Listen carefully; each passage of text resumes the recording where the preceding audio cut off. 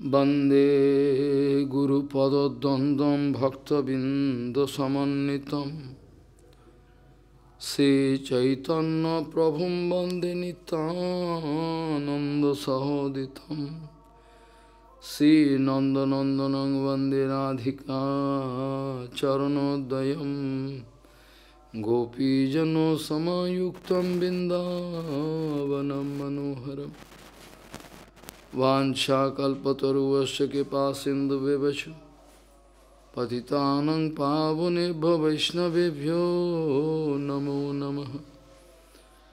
मूकं करोति वाचालं पङ्गुं लङ्घयतगिरिं यत्किपातमहं वंदे परमानन्दमाधवं बृन्दावै वै पिया वै केशवस्य च। কৃষ্ণভক্তি পদে দেবী সত্যবত্তৈ নম নম।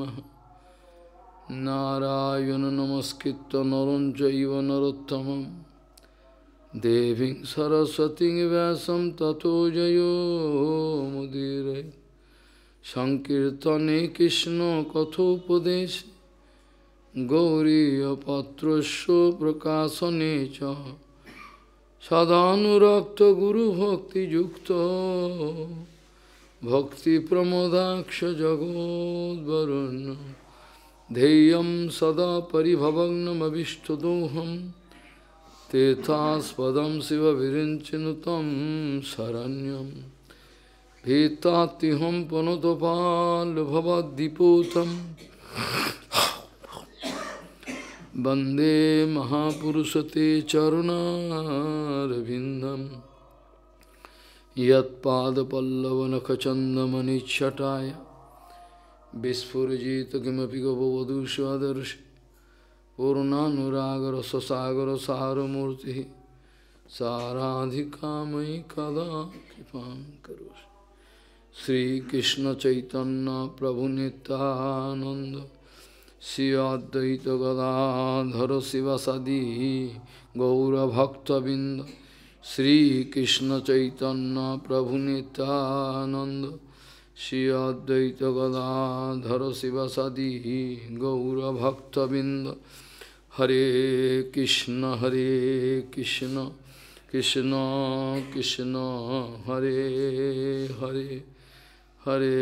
Ram, Hare Ram, Ram Ram, Hare Hare. Ajanulambita bhujau kanaka bodhato Sankirtanaikapitaro kamala yataksho Vishambaro dijavaro jugadharma palo Bande jagat priyakaro करुणावतारो हरे कृष्ण हरे कृष्ण कृष्ण कृष्ण, हरे हरे हरे राम हरे राम राम राम, हरे हरे।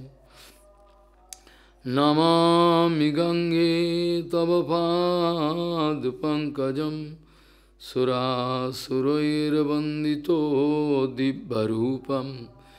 भुक्तिं च मुक्तिं च ददासि नित्यं।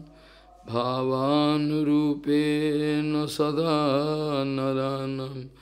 गङ्गातरङ्गरमणीयजटाकलापं। गौरी निरन्तरविभूषी त्ववामभागम् नारायणो प्रियमनङ्गमदापहारं वरानसिपुरपति भजवीशनाथं वागीषजुष्वदने लक्ष्मीर्जस्य च वक्षसि यस्यास्ति हृदयसंवित् त्वं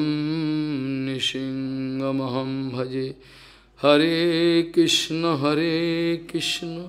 Krishna Krishna Hare Hare Hare Ram Hare Ram Ram Ram Hare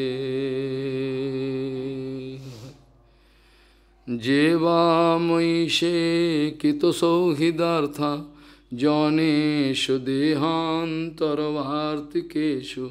জনেষু দেহান্তরবার্তিকেষু গেহেষু জয়াত্মজরাতিমৎসু ন প্রীতিযুক্তা জবদার্থাস্য লোকে। যে বা ময়ীষে কিতসৌহৃদার্থা জনেষু দেহান্তরবার্তিকেষু। গেহেষু জয়াত্মজরাতিমৎসু ন প্রীতিযুক্তা জবদার্থাস্য লোকে। শ্রীশিল ভক্তি সিদ্ধান্ত সরস্বতী গোস্বামী ঠাকুর বহুপাদ পরমাংশ জগৎগুরু জানিয়েছেন, যে বস্তুটাকে আমরা চোখে দেখতে পারি না, যে বস্তুটা সম্বন্ধে শুনে কিছু বুঝতে পারি না, কিছু উপলব্ধি করতে পারি না, যে বস্তুটা পেলে পরে কি হবে? What is the utility of that object আমরা এটা অনুভব করতে পারি না। সেই বস্তু সম্বন্ধে আমাদের কখনোই কৌতূহল বা আগ্রহ দেখা দেয় না। সে বস্তুটাকে পেয়ে কি হবে? কি করব ওই বস্তু দিয়ে? যতক্ষণ পর্যন্ত না আমরা পরিষ্কারভাবে উপলব্ধি করতে না পারি যে কোনো এক বস্তুর পেছনে আমি সময় দেব, সেই বস্তুটাকে প্রাপ্ত করবার জন্য আমার চেষ্টা আশা, আকাঙ্ক্ষা থাকতে হবে। কেন থাকব? সে বস্তুটা কি হবে? যে বস্তু সম্বন্ধে এরকম ধরনের একটা কন্ট্রাডিকশন সেই বস্তুটাকে প্রাপ্তি করবার জন্য কোনো চেষ্টা মানুষের মধ্যে দেখা যায় না। আর সেই কারণেই ভগবত প্রাপ্তির জন্য চেষ্টা, কোটি কোটি জনসংখ্যার মধ্যে, মানুষের মধ্যে হাতে গুনে কয়েকজনকে বলা যাবে। যারা বাস্তবিক চাইছে। পোপাত বলছেন, ভগবত বস্তু এমন এক বস্তু যেটাকে আমাদের ইন্দ্রিয়ের দ্বারা, আমাদের ইন্টেলেক্ট বুদ্ধির দ্বারা, বিবেকের দ্বারা, বিচারের দ্বারা, বা ধনবলের দ্বারা, লোকবলের দ্বারা, বিদ্যাবলের দ্বারা কোনো কিছুর দ্বারাই যেটাকে পাওয়া যায় না। যে বস্তুটাকে পাওয়ার জন্য আমরা যদি আমাদের সমস্ত অর্থবল লোকবল ধনবল জলবল সমস্ত কিছু যদি বাজি লাগিয়ে দিই, তথাপি সেই বস্তুটাকে পাওয়া যায় না। তাহলে সেই বস্তুটাকে, যে বস্তুটাকে পাওয়া যায় না, যে বস্তুটাকে সত্যিই তাই। উপনিষদ বলছেন, যে বস্তুটাকে কোনো মতেই জানা যায় না আমরা সেই বস্তুটাকে জানবার জন্য চেষ্টা করছি। সে আবার কি কথা? যে বস্তুটাকে জানা যায়ই না, সেই বস্তুটাকে জানবার জন্য আমরা চেষ্টা করছি। এটা কেমন কথা হলো? বলা ঠিকই কথা হলো। মায়ের গর্ভে থাকাকালীন অবস্থায়, মায়ের গর্ভে থাকাকালীন অবস্থায় আমি যদি মনে করি মাকে দেখে নেব, লম্বা কি চড়া কি বেঁটে, কি আমি দেখে নেব সেটা কি হয় নাকি? মায়ের গর্ভে থাকাকালীন অবস্থা, মা কেমন? মায়ের স্বভাব কেমন? মায়ের আচার কেমন? সব জেনে নেব। অবশ্য আমি মায়ের মধ্যেই রয়েছি, মায়ের ভেতরে, কিন্তু আমি জানতে পারব না। এরকম অনন্ত ব্রহ্মাণ্ড ভগবানের মধ্যেই রয়েছেন, অথচ ভগবানকে জানবা যাবে না। আশ্চর্য কথা, যে বস্তুটাকে কোনো মতে জানা যায় না, সে বস্তুটাকে জানবার জন্য আমাদের চেষ্টা। মুনি ঋষিরা করেছেন আমাদের গুরুবর্গ, তারা নিত্য পার্ষদ হয়েও তারা কীভাবে ভগবত প্রাপ্ত করতে হয় সেগুলো দেখিয়েছেন, এবারও আশ্চর্য কথা।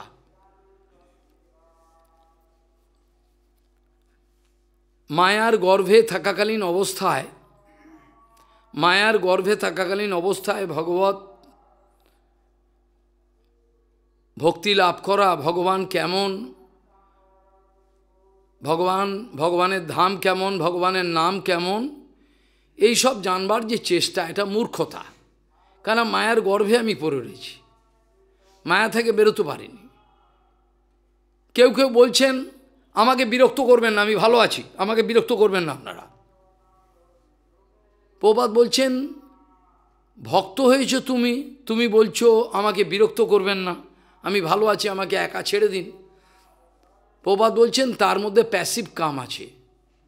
যে এই কথাটা বলছে, আমাকে বিরক্ত করে, আমি একা থাকতে চাই, একলা একলা ভালোই আছি, তার মধ্যে প্যাসিভ কাম অর্থাৎ গুপ্ত কাম রয়েছে। প্রকাশ্যে যদি কারোর মধ্যে কাম থাকে, তবুও ভালো। তাতে অতটা বিপদ নয়। কি যার মধ্যে গুপ্ত কাম রয়েছে, তাকে বাঁচানো খুবই মুশকিল। তাকে বাঁচানো সম্ভব নয়, অসম্ভব।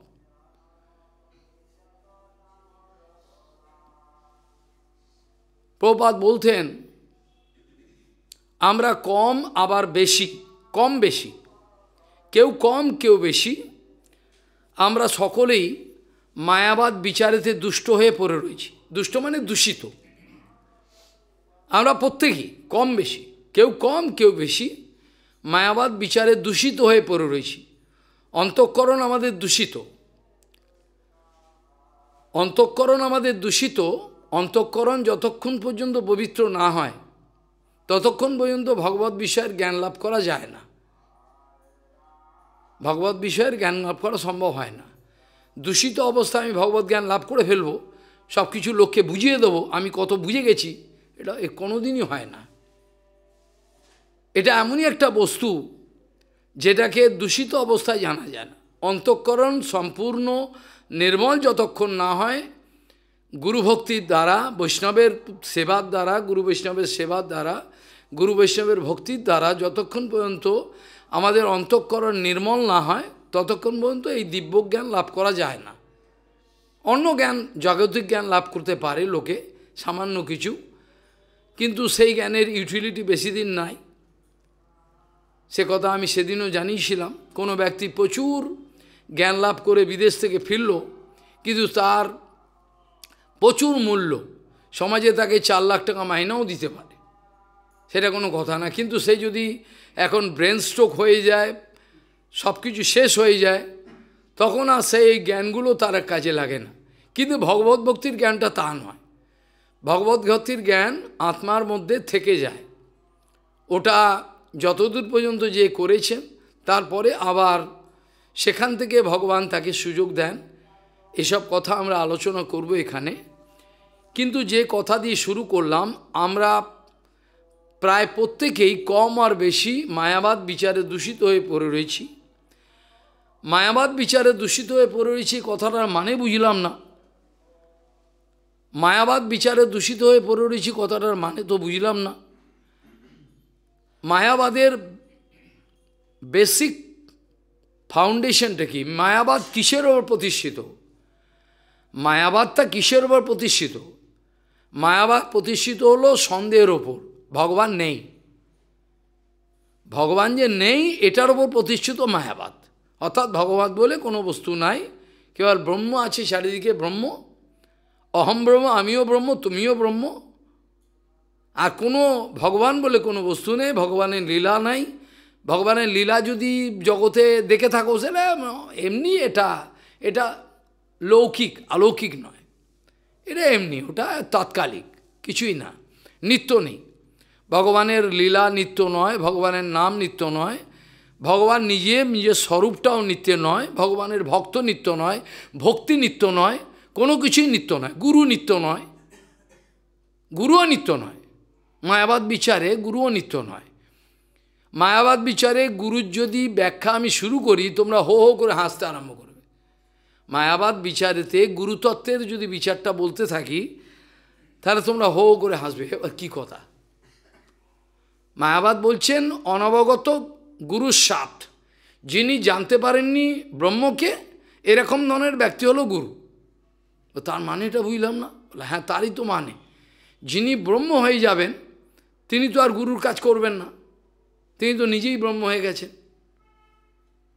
কাজে এমন একজন ব্যক্তিকে গুরু শিখণ্ডী শিখণ্ডী জানো?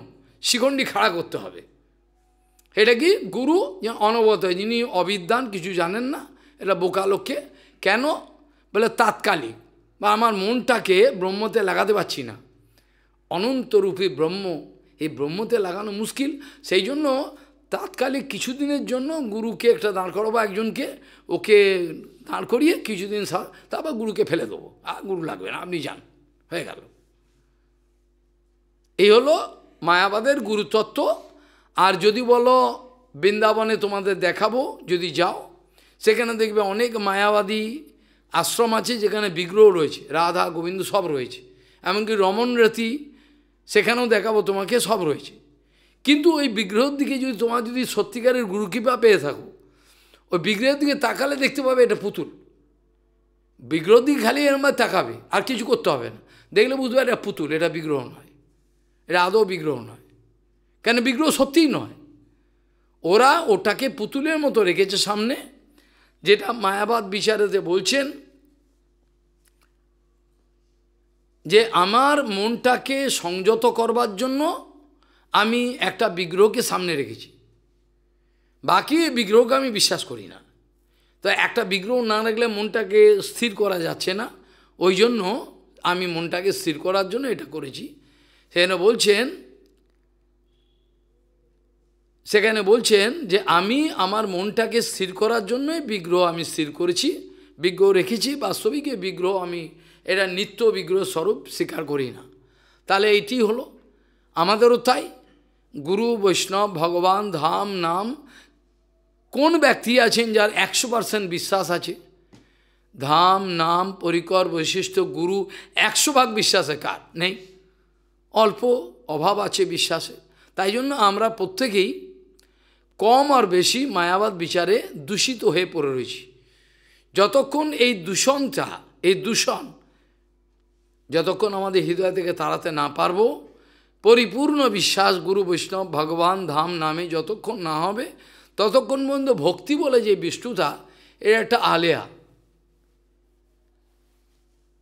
এটা একটা আলিয়ার মতো হবে, এটা বাস্তবিক কিছু। এটা কিছু ফল দেবে না লাভ হবে না কিছু। সাধকানাম হিতার্থায় ব্রহ্মরূপ কল্পনা কি বলছেন? মায়াবাদীরা কি বলছেন?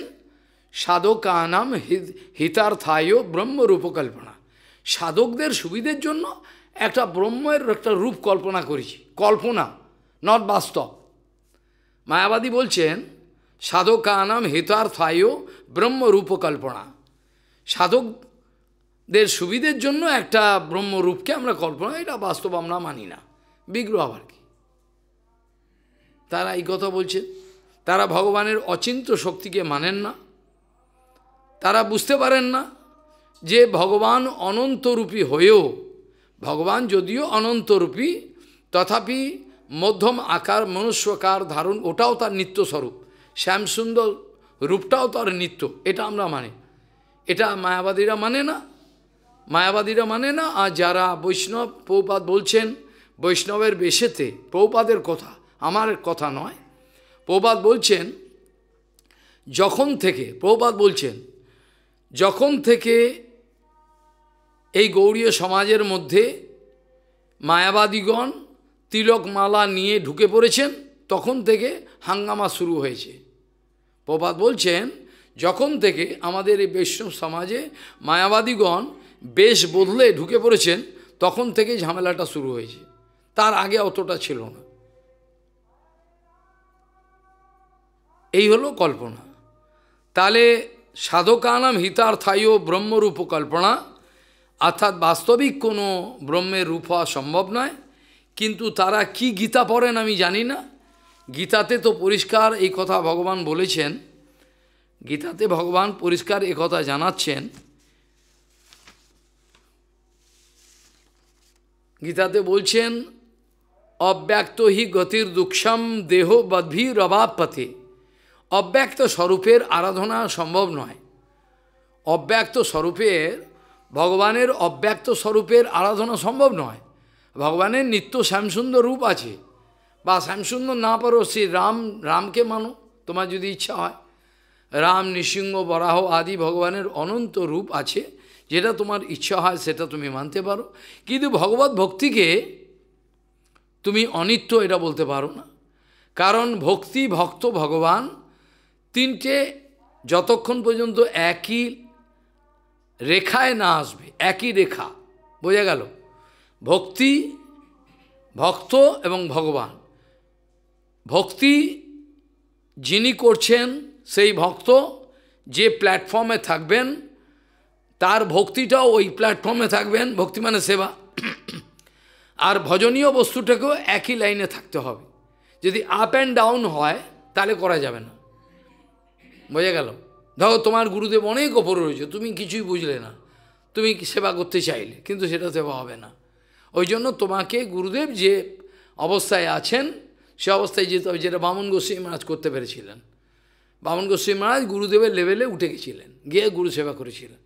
আমাদের প্রত্যেককেই গুরুদেব যে প্ল্যাটফর্মে রয়েছেন, যে ভূমিকায় রয়েছেন, ওই ভূমিকায় না যাওয়া পর্যন্ত গুরুদেবের সেবা হবে না। এটা নিয়ম। ভক্তি ভক্ত ভগবান, ভক্তি ভক্ত ভগবান। এই তিনটে একই লাইনে থাকতে হয়। তবে ভজন হয়, আর ভজনীয় বস্তুর সঙ্গে সাক্ষাৎকার হতে পারে আমার ভজন আমাকেও সেই প্ল্যাটফর্মে সেই উচ্চতায় যেতে হবে। তা নাহলে আমার ওটা একটা অব, এটা প্র্যাকটিস হবে।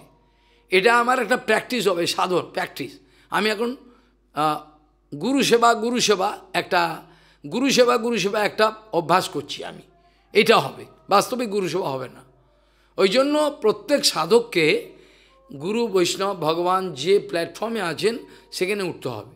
আমাদের হরিনাম বলো, আমাদের সেবা, পূজা, মন্দির সব কিছু এটা বাস্তব হবে তখন যখন আমরা সেই অবস্থায়,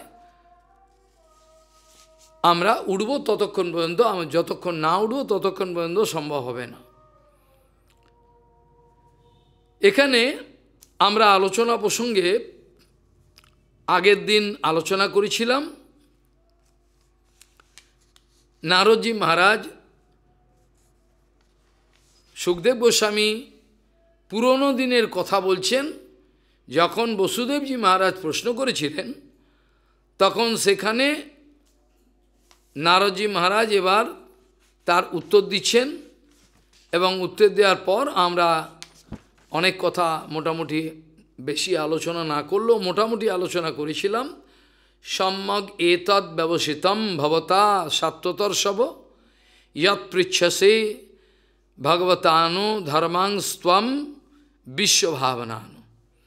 বলছেন, নারদ বললেন, হে ভক্তবরণ্য, বসুদেবজি, তুমি যে সর্বশোধক সর্বকলমস নাশক এই যে ভগবানের ভগবত ধর্মসমূহ প্রশ্ন করেছ, তোমার জানতে ইচ্ছে, এটা তোমার সর্ববিষয়, এটাই তো তোমার পক্ষে, তোমার মতো, আপনার মতো এত মহান ব্যক্তির পক্ষে, এই এই প্রশ্নই তো ঠিক।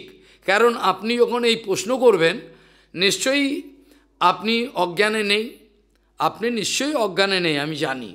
তথাপি আপনি যে এই প্রশ্নটা করেছেন, এটা আপনার মতো মহান মহিয়ান ব্যক্তির পক্ষে এটি উচিত। কেন এই প্রশ্নের দ্বারা?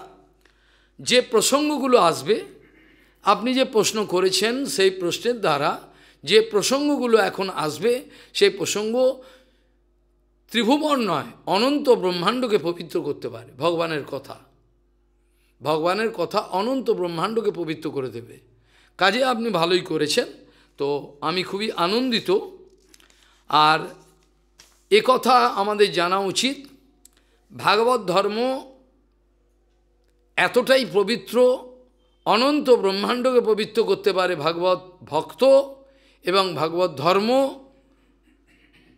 সব কিছু সেই জন্য সেদিন বলেছিলাম, শ্রুত, অনুপঠিত, ধ্যাত, আদৃত বা অনুমোদিত সদ্য পুনাতি সদ্ধর্ম দেব বিশ্বদ্রোহ অপিহি। দেবতাদের সঙ্গে বিদ্রোহ করেছে, বিশ্বদ্রোহ করেছে। তথাপি সে সদ্য মানে সঙ্গে সঙ্গে পবিত্র হয়ে যাবে। যদি তার ভগবত ধর্মের সঙ্গে কিছু সংযোগ থাকে, সংযোগ মানে সে ভগবত ধর্মকে অনুমোদন করেছে। এখানে ভাগবত কথা হোক ভালো, ওই মহারাজ করছেন ভালো, ব্যাস, অনুমোদন করেছে, আর কিছু না। বা যে সুতো যদি শুনে, অনুপঠিত, গুরুদেবের আনুগত্যে পাঠ করল বা শুনেছে বা এই ভাগবত ধর্মের চিন্তা করছে, গভীর তত্ত্ব বিষয়গুলোকে আদৃত, আদর করেছে। ভাগবত ধর্ম খুব ভালো।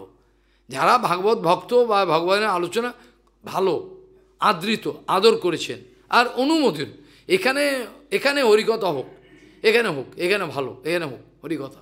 খালি অনুমোদন। আর বিশেষ কিছু করে নাই, খালি অনুমোদন করেছে। তাতে পর্যন্ত সেই ব্যক্তি সদ্য পুনাতি সদ্ধর্ম দেব বিশ্বদ্রোহ অপিহি। তারা দেবতাদের সঙ্গে বিদ্রোহ করলেও বিশ্ব বিশ্বের সবর, সব জীবের সঙ্গে করল যে দেব বিশ্বদ্রোহ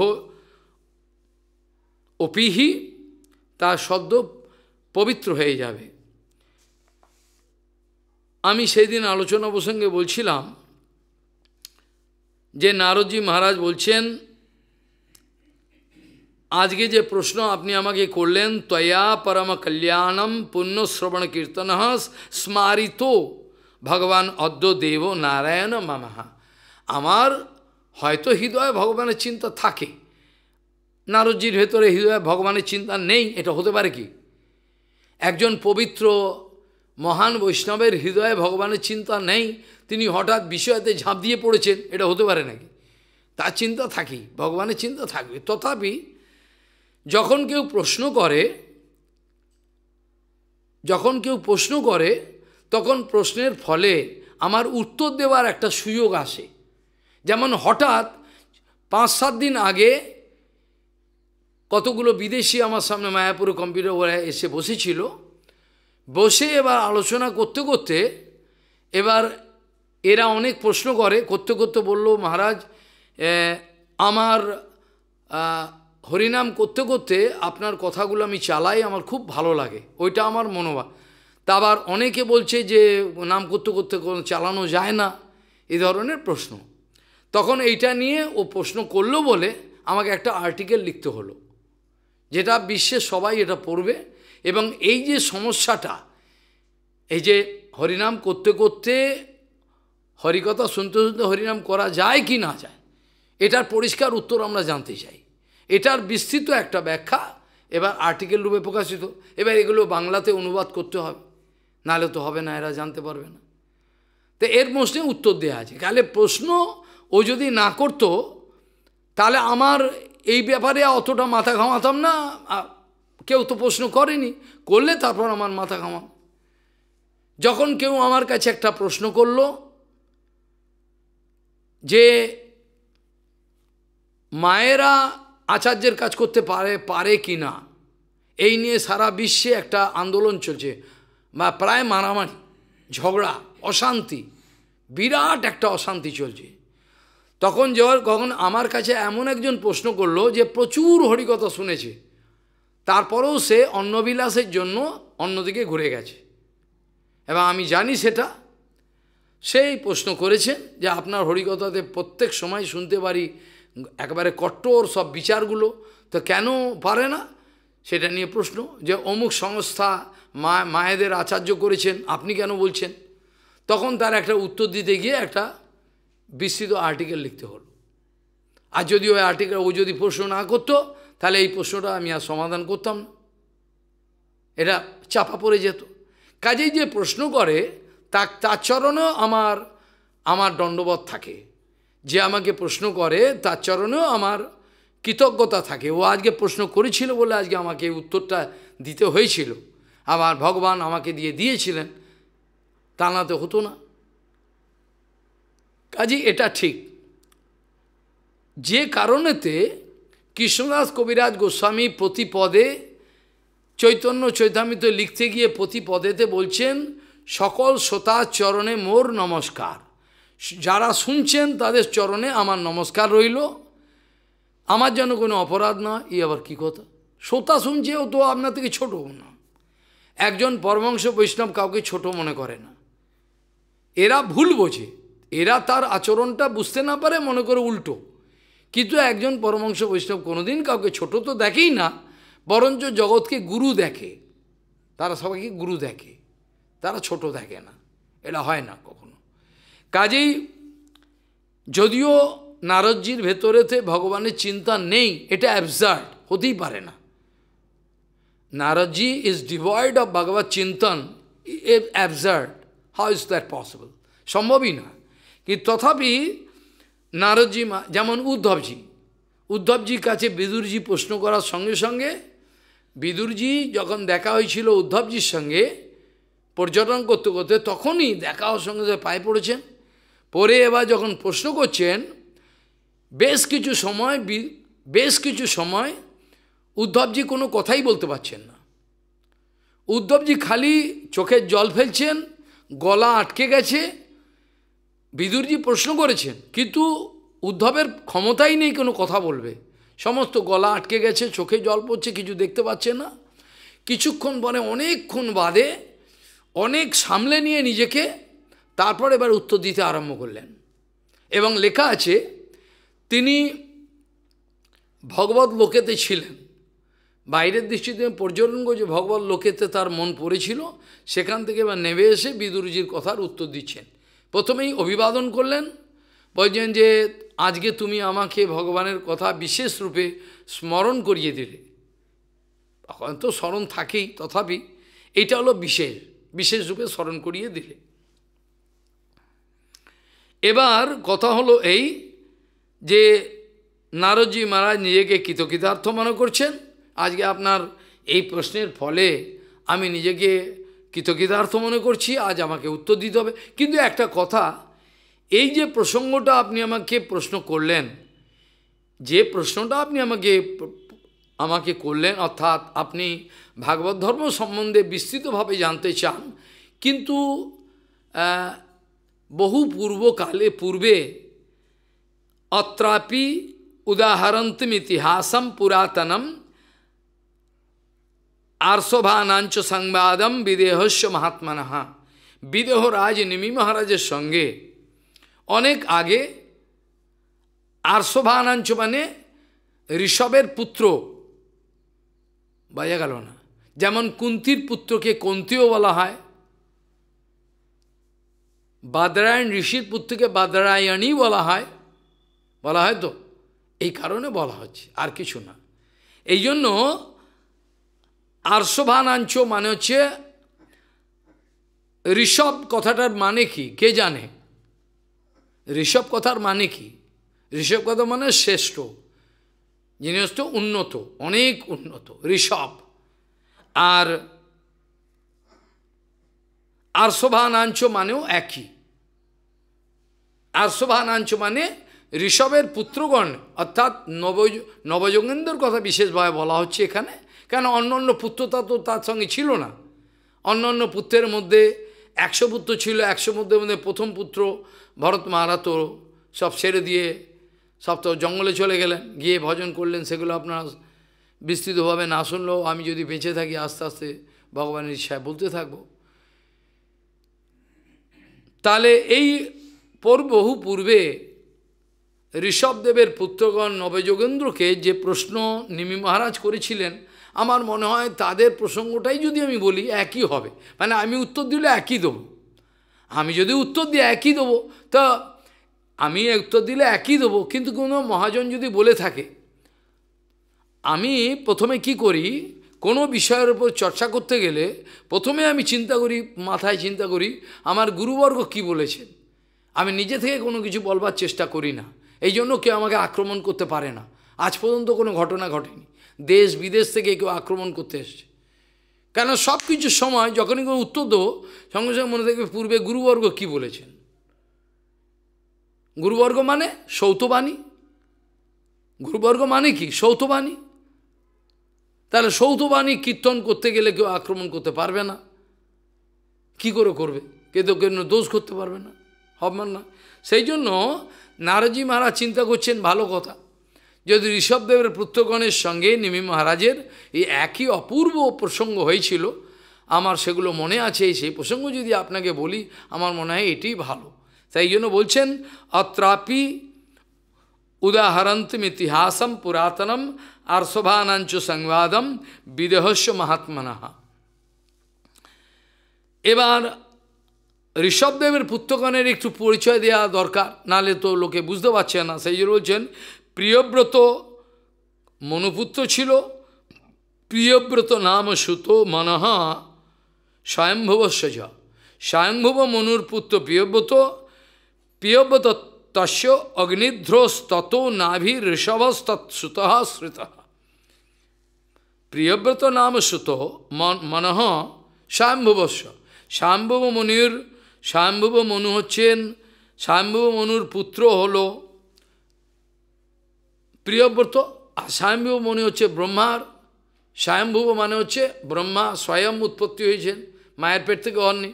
তা তার পুত্র স্বয়ংভব মনু, আর তার পুত্র হলো প্রিয়ব্রত প্রিয়ব্রত পুত্র অগ্নিধ্র, অগ্নিধ্রর পুত্র নাভি নাভি, নাভির পুত্র হলো ঋষভ। আর তার পুত্র এই যে দেখা যাচ্ছে, যাকে যার নাম বলছেন, এই যে নবযোগেন্দ্র কথা, একশো পুত্রের মধ্যে প্রথম পুত্র ভরতজি মহারাজ, যিনি এখানে টিকাকাররা বলেছেন, ভরতজি মহারাজের এই সম্বন্ধে আমি বলতে জানালে ওইটিই চর্চা হবে। কাজে ওটা আর করা যাবে না। ভরত মহারাজের এই যে হরিণ জন্ম হলো, তার এই যে মানসিক চিন্তাটা হরিণের প্রতি ছিল জং জং বা ওপি শরণ ভাবম ত্যাজতি অন্তে কলেবরম। এই গীতাতে যে বলা হয়েছে, এই বাক্য অনুযায়ী যে যে চিন্তা করতে করতে দেহ রাখে তা তার সেই জন্ম হয়। ওই জন্য আমাদের সমগ্র জীবনে যদি হরিভজন করতে পারি, বাস্তবিকভাবে কপটতা কপটতা শূন্য হয়ে, তাহলে আমাদের মৃত্যুর সময় ভগবত চিন্তায় আসবেন। আর যদি সারা জীবন আমি কপটতা করে থাকি তাহলে আমার মৃত্যুর সময় ভগবত চিন্তা আসবে না। যতই বলো, ভগবত চিন্তা, সেই যদি আচার্যও হয়, যদি বিষয়, প্রতিষ্ঠা, এদিক ওদিক ছুটে মরল, তারও মৃত্যুর সময় ভগবানের চিন্তা আসবে না। কেন? সে কপটতা করেছে, সে ভজন করেনি। আর বাস্তবিক যিনি সর্বসময় হৃদয়তে ভগবত চিন্তনকে জাগিয়ে রাখতে পেরেছিলেন, বদ্ধ, বদ্ধজীবের ভজনটা কেমন? যেমন আমরা টিকের আগুনকে ফুঁ দিয়ে রাখতে হয়, জানেন না? টিকের আগুন দেখেছেন? Charcoal. Charcoal if you are not going to supply oxygen properly then কি হবে? যদি আমি এরকম ফু দিয়ে অক্সিজেন না দিই, তাহলে ওটা নেবে যাবে। এই জন্য বদ্ধজীবের ভজনটা সব সময় গুরু বৈষ্ণবের সঙ্গে থাকতে হবে। মানে সব সময়, যদি ফিজিক্যালি শারীরিকভাবে না পারে, মানসিকভাবে। সর্বসময় গুরু বৈষ্ণব পুঁ দিয়ে রাখতে হবে না নিবে যাবে। ওই যে আগুনটা, আগুন মানে ভগবত বিরহ। ভগবান যে নেই, আমি যে ভগবানকে হারিয়ে ফেলেছি, এই যন্ত্রণা তো কাউন নাই? আছে কি? কার আছে বলো? আমি ভগবানকে হারিয়ে ফেলেছি, ভগবান আমার আমার নিজজন তিনি নেই, এটা একটা গল্প কথা। এটা বলতে হয় বলে। এর বাস্তবিকভাবে যদি আমার পিতা হারিয়ে যায়, স্বামী হারিয়ে যায়, মাতা তখন আমার দুঃখ হয়। কিন্তু ভগবান যে হারিয়ে গেছে আমার জীবন থেকে, সেটা কোনো কষ্ট পরিতাপ নেই, কিছুই নেই। এক বিন্দু বিসর্গ নেই। হ্যাঁ জড় বিষয়ে আমাকে তো ভালো করে রেখেছে না আনন্দে? তো আজ করে রেখেছে। মায়াদেবী আমাকে তো তো আজ করে রেখে দিয়েছে, সুন্দর করে। তা আমি আর ভগবানের চিন্তা কী করে করব? কার ঠেকা পড়েছে ভগবানকে চাই? ওই জন্য ভগবান হারিয়ে গেছে, ভগবানের সঙ্গে আমি সম্বন্ধ না জুড়লে পরে আমার জীবন শেষ হয়ে যাবে। এটা অনুভব যতক্ষণ না হয়, ততক্ষণ পর্যন্ত ভগবত ভজন হওয়া খুবই মুশকিল। যাই হোক, এখন আমাদের ভরতজি মহারাজ ভরতজি মহারাজ, তিনি এবার রাজত্ব সব রাজধানী সমস্ত ছেড়ে দিয়ে, যেমন আমাদের পরীক্ষিত মারা সব ছেড়ে দিয়ে চলে এসেছিলেন, জঙ্গলে চলে গেছিলেন। কিন্তু দুর্ভাগ্য, তার একটা হরিণের শিশুর প্রতি মনোনিবেশ হওয়াতে ভজন থেকে ঘুরে গেছেন। তা আমাদের কামিনী, কাঞ্চন, টাকা পয়সা এত দিকে আমাদের মন রয়েছে। ওনার খালি একটা হরিণ শিশুর দিকে মন গেছে। তাতেই ও শেষ। তার ভজন হলো না। তাকে আবার জন্ম নিতে হলো হরিণ শিশু হয়ে। তাহলে আমাদের সমস্ত সময় all the twenty four hours will have to get in touch with guru Vaishnava Bhagavan either mentally or physically শারীরিকভাবে বা মানসিকভাবে যে কোনোভাবে আমাদের ধামে থাকতে হবে এবং গুরু বৈষ্ণবের সঙ্গে থাকতে হবে যদি না থাকা যায় তাহলে ভজন হবে না ওই জন্য ফুঁদিয়ে রাখতে হয় সবসময় গুরু বৈষ্ণবের সঙ্গে কখন গুরু বৈষ্ণবের সঙ্গ পাবো দেখা হবে এটা দরকার এটা না যদি হয় তাহলে ভজন হবে না বাড়ি চলে যাওয়া বেকার জীবন নষ্টও হতে পারে। নাহলে যাই হোক, এখন একশো পুত্রের প্রথম পুত্র তিনি হচ্ছেন ভরত মহারাজ ছিলেন আজাগে তিনি চলে গেছেন, তিনি সব ছেড়ে। আর বাকি নিরানব্বই জনের মধ্যে নজন তিনি কি করেছেন, ভারতবর্ষটাকে, ভারতবর্ষের নটা ভাগ আছে। অজনব বর্ষ থেকে আরম্ভ করে ইলাবিত্ত বর্ষ ইলাবিত্ত বর্ষ থেকে আরম্ভ করে আবার কিংপুরুষ বর্ষ, বিভিন্ন বর্ষ ভাগ আছে। এবং বর্তমান যে ভারতবর্ষটাকে দেখছ, এটাকে ভারতবর্ষ তোমরা দেখছ।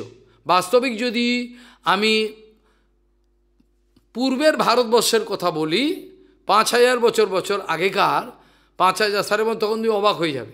ভারতবর্ষ কোন বই, আফগান, ফাফগান সব ভারতবর্ষের মধ্যে ছিল। সব। যেগুলো ইন্দোনেশিয়া দেখছ, মাদাগাস্কার সব সব ভারতবর্ষের মধ্যে ছিল। কে এখন সব? টুকরো টুকরো হয়ে ছড়ে গেছে। এগুলো সব ভারতবর্ষে। ভারতবর্ষটা কত বড় ছিল তোমার স্বপ্নের বাইরে। আর পুরো পৃথিবীটাকে শাসন করত অম্বরীশ মহারাজ। সপ্তদ্বীপ অধিপতি সপ্তদ্বীপ আধিপতি সপ্তদ্বীপের অধি সাতটা দ্বীপ, সাতটা দ্বীপের অধিপতি ছিলেন। এখন চিন্তা করো, তোমার, তুমি, তোমার ঘরে তোমার ছেলেটা তোমার মেয়েটা তোমার কথা শোনে না। একটা ঘরে একটা ছেলে, একটা মেয়ে, স্বামী আর স্ত্রী। চারজনের মধ্যে কাউ কারও বনিবনার নাই। প্রত্যেকে আলাদা, বিশেষ করে পয়সাওয়ালা ব্যক্তিরা তো আরও মেয়ে একদিকে রয়েছে, ছেলে একদিকে, স্বামী একদিকে চলে গেল, সব নামে মাত্র সংসার। নামে মাত্র সংসার, সব আলাদা। স্ত্রী চলে যাচ্ছেন নোংরা দিকে, স্বামী চলে যাচ্ছেন কন্যা, তাকেও বলা যাবে না। তাকে কিছু বলাতে নিজের মতো চলবে। তাহলে এই হচ্ছে আমাদের সংসার। যে সংসারে চারটে ফ্যামিলি মেম্বারের মধ্যে একজন আয়োজনের কথা শোনে না। তাহলে এবার কল্পনা করে থাকো যে একজন রাজা সে সপ্তদ্বীপ, সাতটা দ্বীপকে শাসন করছে হ্যাঁ? কি করে সম্ভব হয়? এবার আপনি আমাকে বলুন। সাতটা দ্বীপকে শাসন করছে একটা রাজা, এটা কি করে হয়? সেখানে প্লেন নেই, কিছু নেই, কি করে যাবে সে? তারা অবশ্য বিমান আছে তাদের, রথ আছে। সাতটা দ্বীপকে চালাচ্ছে সে। তাহলে কি শক্তি ছিল? কেউ যদি আমাকে প্রশ্ন করে, ওনার কি রাবণের মতো দশটা মাথা ছিল? না কার্তবীর্য অর্জুনের মতো হাজারটা হাত ছিল? নাকি বানাসুরের মতো হাজারটা হাত ছিল? কি ছিল? সহস্র বাহু। বুঝলে কথা তাহলে কী ছিল তা? তোমরা বুঝলেই না ব্যাপারটা। তোমরা বুঝলে না, ভক্তি। শক্তি হলো ভক্তি। যদি কেউ মনে করে একজন নিষ্কিঞ্চন সাধু, তার টাকা পয়সা নেই, কিছু নেই, নিষ্কিঞ্চন, সে বৃন্দাবনে এদিক ওদিক কোনোরকমভাবে থাকে, ভগবানের সত্যি ভজন করে। আমি এমন অনেক সাধুর সন্ধান পেয়েছি, আমার কপাল ভালো। আপনারা শুনলে বিশ্বাস করবেন না। আমি যখন বৃন্দাবন মঠেতে দায়িত্বে ছিলাম মানে হরিকথা কীর্তনে দাউজির দায়িত্বে, তখন আমি রোজ দাউদির সব সেবা করে এবার দর্শনে যেতাম। গোকুলানন্দ, তারপরে তোমার রাধা দামোদর, রাধা রমণলাল, রাধা গো, সব দর্শনে যেতাম। রোজ। ও যাবই ওই সময়। সব করে, সেবা করে, এবার যাব। এবার করে আমি যখন রোজই গোকুলানন্দে যেতাম তখন দেখতাম একটা লাল কাপড় পরা আমাদের গৌরীয় সাধু, একটা বৃদ্ধ, এক করতাল নিয়ে বসে কেউ নেই। গোকুলানন্দের ওখানে তো ভিড় থাকে না, আপনি জানেন। কেউ যায় না, খুব কম লোক যায়। যারা জানে তারা যায়।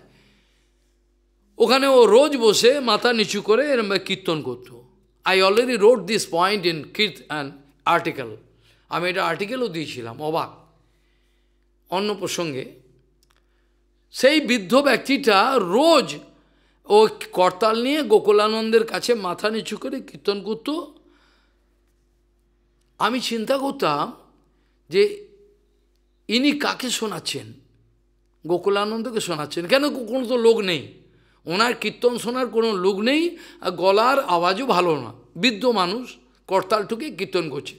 কিন্তু আমি অনুভব করছি ইনি যে কীর্তনটা করছেন সেটা আমার হৃদয়তে ধাক্কা লাগছে। ইনি যে কীর্তনটা করছেন, আমার হৃদয়তে স্পর্শ করছে। আমি বুঝতে পারছি ইনি হচ্ছেন বাস্তব কীর্তন করছেন। ইনি কোনো জগতের কোনো লোককে সন্তুষ্ট করার জন্য কথা বলছেন না, কীর্তন করছেন না। ইনি জগতে কিছু টাকা পয়সা বা কোনো লোক আমাকে হাততালি দেবে এই জন্য করছেন না। হরিকথাও তাই। আমি আমার জীবনে কোনোদিন কাউকে সন্তুষ্ট করার জন্য হরিকথা বলি নাই। আজ পর্যন্ত। যে রাগ করেছে চলে যাও, আসতে হবে না। কেন আমার সন্তুষ্টিকরণের বিষয় হলো ভগবান। আমি তাকে সন্তুষ্ট করার জন্য হরিকথা বলি, তার সঙ্গে যে কজন শুনবে শুনবে। কাউকে পায়ে তেল মাখানোর কথা আমি কোনোদিন বলিও না, বলার আমার দরকারও নেই। এই হলো কথা। তো তিনি যে কীর্তনটা করতেন, আমার ইচ্ছে হতো তার সঙ্গে দুটো কথা বলল। আমার ইচ্ছে হতো তিনি কীর্তনটা বন্ধ করলেন, কিন্তু কীর্তন যে বন্ধ করবে, তিনি কীর্তন করেই যাচ্ছেন। আর আমারও সময় নেই, শিগগিরই আমার মঠে যেতে হবে, মঠ বন্ধ হয়ে যাবে। মুশকিল ব্যাপার। তো এইভাবে ওই ভদ ওই যে বৃদ্ধ গৌরীয় বুঝতে পারছি গৌরীয় কার শিষ্য জিজ্ঞাসা করার সময় হয়নি। কিন্তু এইটুকু আমার আমার হৃদয়তে এখনও পর্যন্ত দাগ রয়ে গেছে। উনি আমার হৃদয়তে একটা দাগ দিয়ে গেছেন। একটা আমার দাগ ফেলে গেছেন। তার মানে তিনি হচ্ছেন বাস্তব সাধু ছিলেন। তিনি বাস্তব সাধু ছিলেন, তার কীর্তনটা বাস্তব কীর্তন ছিল, তাই জন্যে আমার হৃদয়কে স্পর্শ করে, জগতের অনেক লোকই হরিকথা বলে বড় বড় আচার্য, আমার হৃদয় তো স্পর্শ করে না। আমার স্পর্শ করে না। আমার স্পর্শ করে বহুপাদের কথা, আমার ভক্তিবিনোদ ঠাকুরের কথা, কেশব গোস্বামী মহারাজের কথা। এদের কথা আমার হৃদয় স্পর্শ করে, আমি জানি না কেন। এই ব্যক্তি কৃতকৃতার্থ হয়েছিলেন, শরীর ছেড়ে দিয়েছেন, পরবর্তীকালে আর দেখতে পারিনি তাকে। আর আমার সঙ্গে দেখা হয়নি। আমার ইচ্ছে হয়েছিল তার সঙ্গে কথা বলি, পরিচয় করি, কিন্তু সে আর হয়ে উঠিনি। তো যাই হোক, এই এখানে আলোচনা প্রসঙ্গে আমরা দেখলাম, সপ্তদ্বীপ অধিপতি ছিলেন, ভক্তি হলো শক্তি। তুমি যদি মনে করো দুর্বল ব্যক্তি, টাকা পয়সা নেই, কিছু নেই তাকে, কিন্তু তুমি জানো না। ব্রাহ্মণ বৈষ্ণবের শরীরে কীরকম শক্তি থাকে?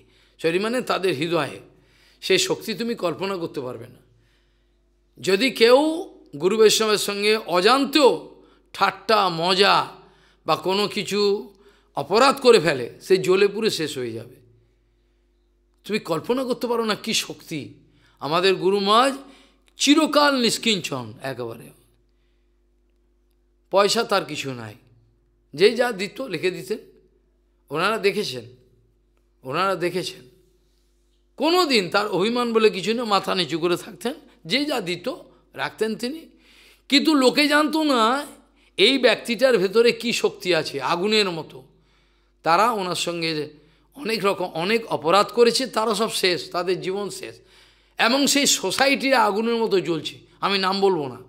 ওই সোসাইটিটা এখন আগুন যেমন জলে এরকম জ্বলছে। মঠ বলে কোনো পদার্থ সেখানে নেই। মঠ বলে কোনো পদার্থ সেখানে নেই। সব শেষ। কারণ তার চরণে অপরাধ করেছে তারা। তার সঙ্গে ঠাট্টা করেছে। যেহেতু তার টাকা নেই। পরবর্তীকালে ভগবান এই জগতের লোকে আঙুল দিয়ে দেখিয়ে দিয়েছে, দেখ, যে বৃদ্ধ ব্যক্তিটাকে তোরা অপমান করতিস, মঠ মন্দির নেই, শিষ্য নেই, বিদে সেই ব্যক্তিটার এখন দেখ প্রতিষ্ঠা। এখন আমেরিকার লস অ্যাঞ্জেলেস আমেরিকার ওয়াশিংটন, এয়ারপোর্ট, নিউ ইয়র্কের সব জায়গায় গুরু মহারাজের ফটো। কেন রয়েছে? দ্য হায়েস্ট ট্যাক্স পেয়ার যে হায়েস্ট ট্যাক্স পেয়ার সে ওই ফটোটাকে রেখেছে। সরকারকে বলে আমার গুরুদেব এখানে থাকবে photo. A highest tax payer যাকে এখন পৃথিবীর কোনে কোনে লোকে জানে। তাহলে কি করে হলো? তিনি বিদেশ যাননি, কারোর সঙ্গে কোনো বিশেষ ইংরেজিতেও কথা বলেননি, কিছুই কথা বলেন চুপচাপ নিজে ভজন করছেন। এই মানুষটা কে লোকে চিনতে পারেনি যে কত বড় ভগবানের নিজজন যেহেতু তার পয়সা ছিল না। তার পরবর্তীকালে এবার দেখা গেল তার নাম জগতের প্রত্যেকটা দেশের কোণে কোণে, ভক্ত সমাজে, সবাই জানে। কি করে হলো? এই হলো কথা।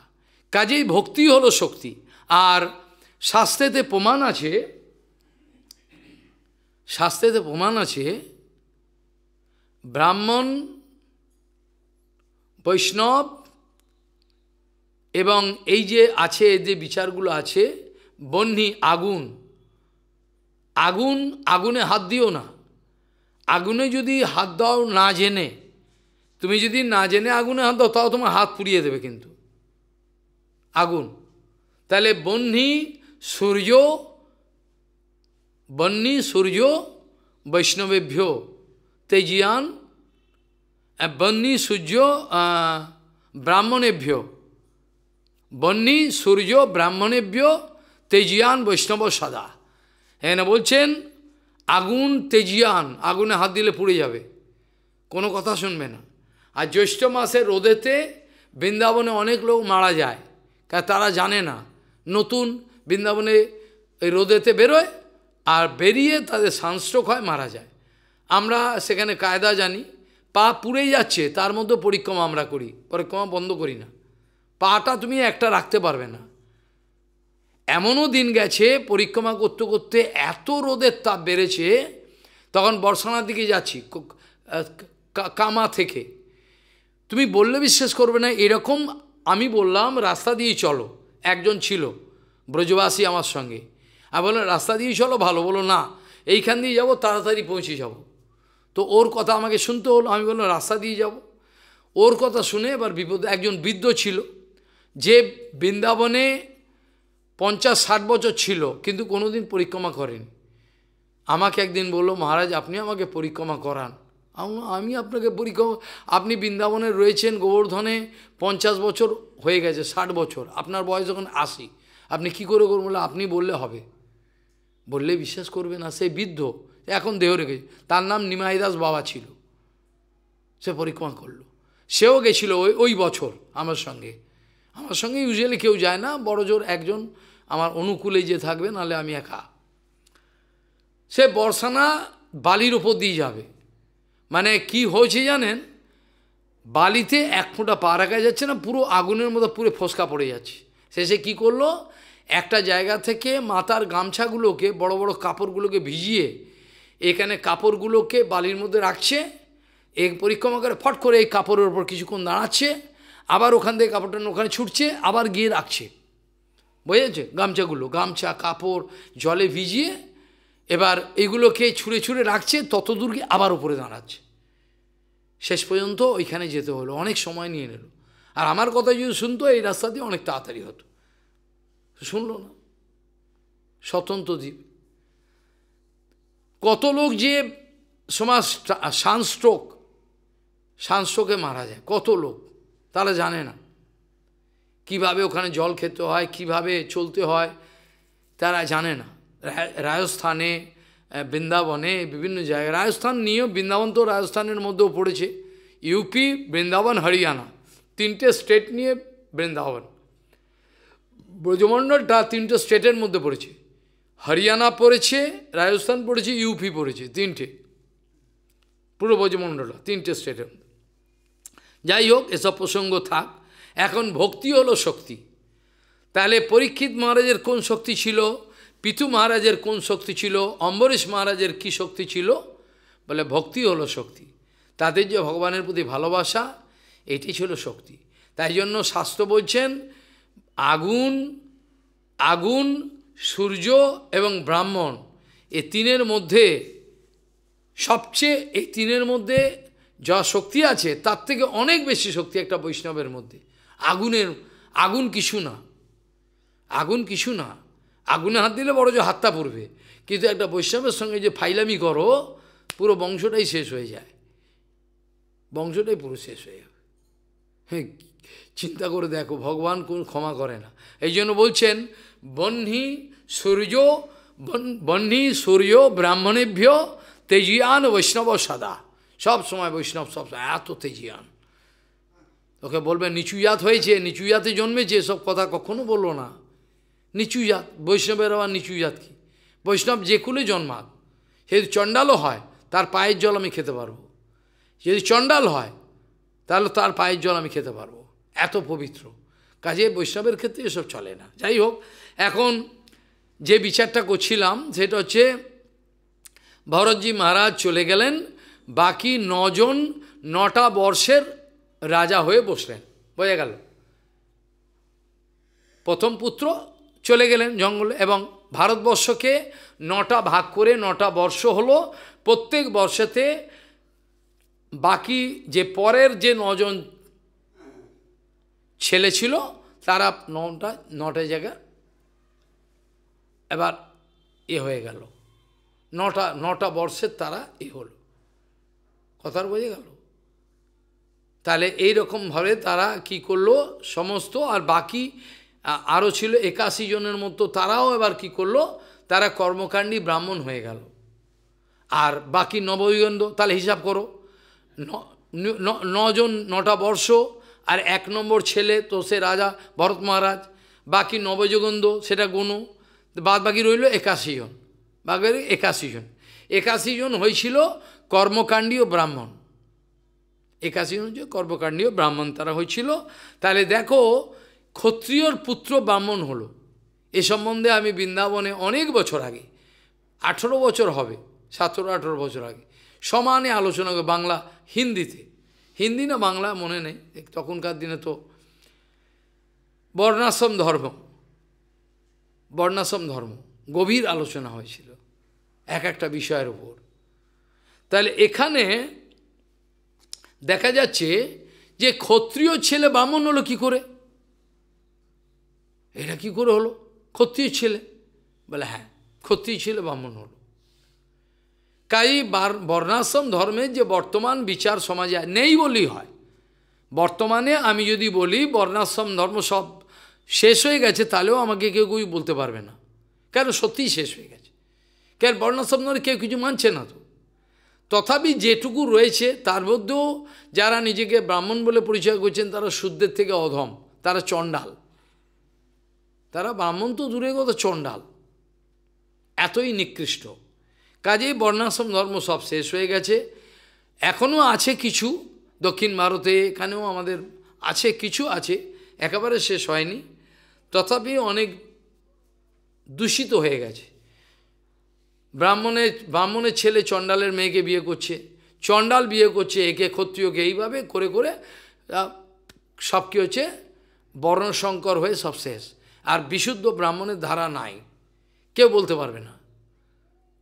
কম করে যদি পাঁচটা কম করে যদি পাঁচ জেনারেশন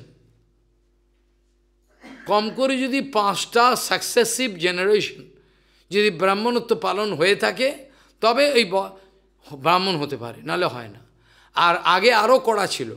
কম করে আট জন্ম আট জন্ম, পর পর ওর বাবা ওর বাবা ওর বাবা, এরা সব ব্রাহ্মণ ধর্ম পালন করেছিল, ভগবানকে ভালোবেসেছিল, বাস্তবিক। তবে তার ছেলেটা ব্রাহ্মণ হলেও হতে পারে, নাও হতে পারে।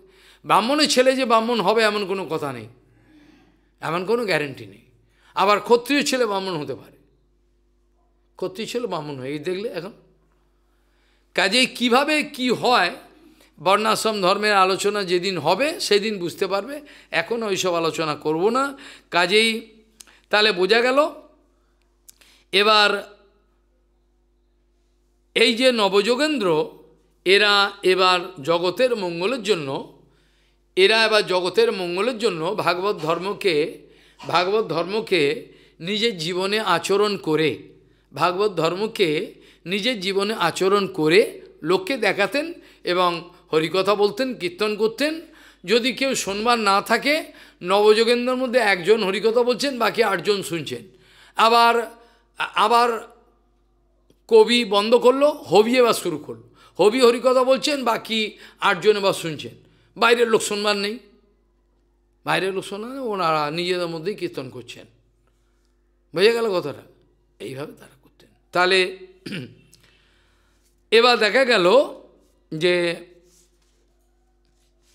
এবার এই নিমি মহারাজের বিদেহরাজ তাদের এবার এই যে তেইশাম নব নবদ্বীপ পতয় অশ্ব সমন্তত কর্মতন্ত্র প্রণেতারম একাশীতি দ্বিজাতয়। হয়ে গেল, ছেড়ে দাও। তারপরেতে এবার কিল নবা ভবন অভবন অভবন মানে হয়েছিল, নজন। কে?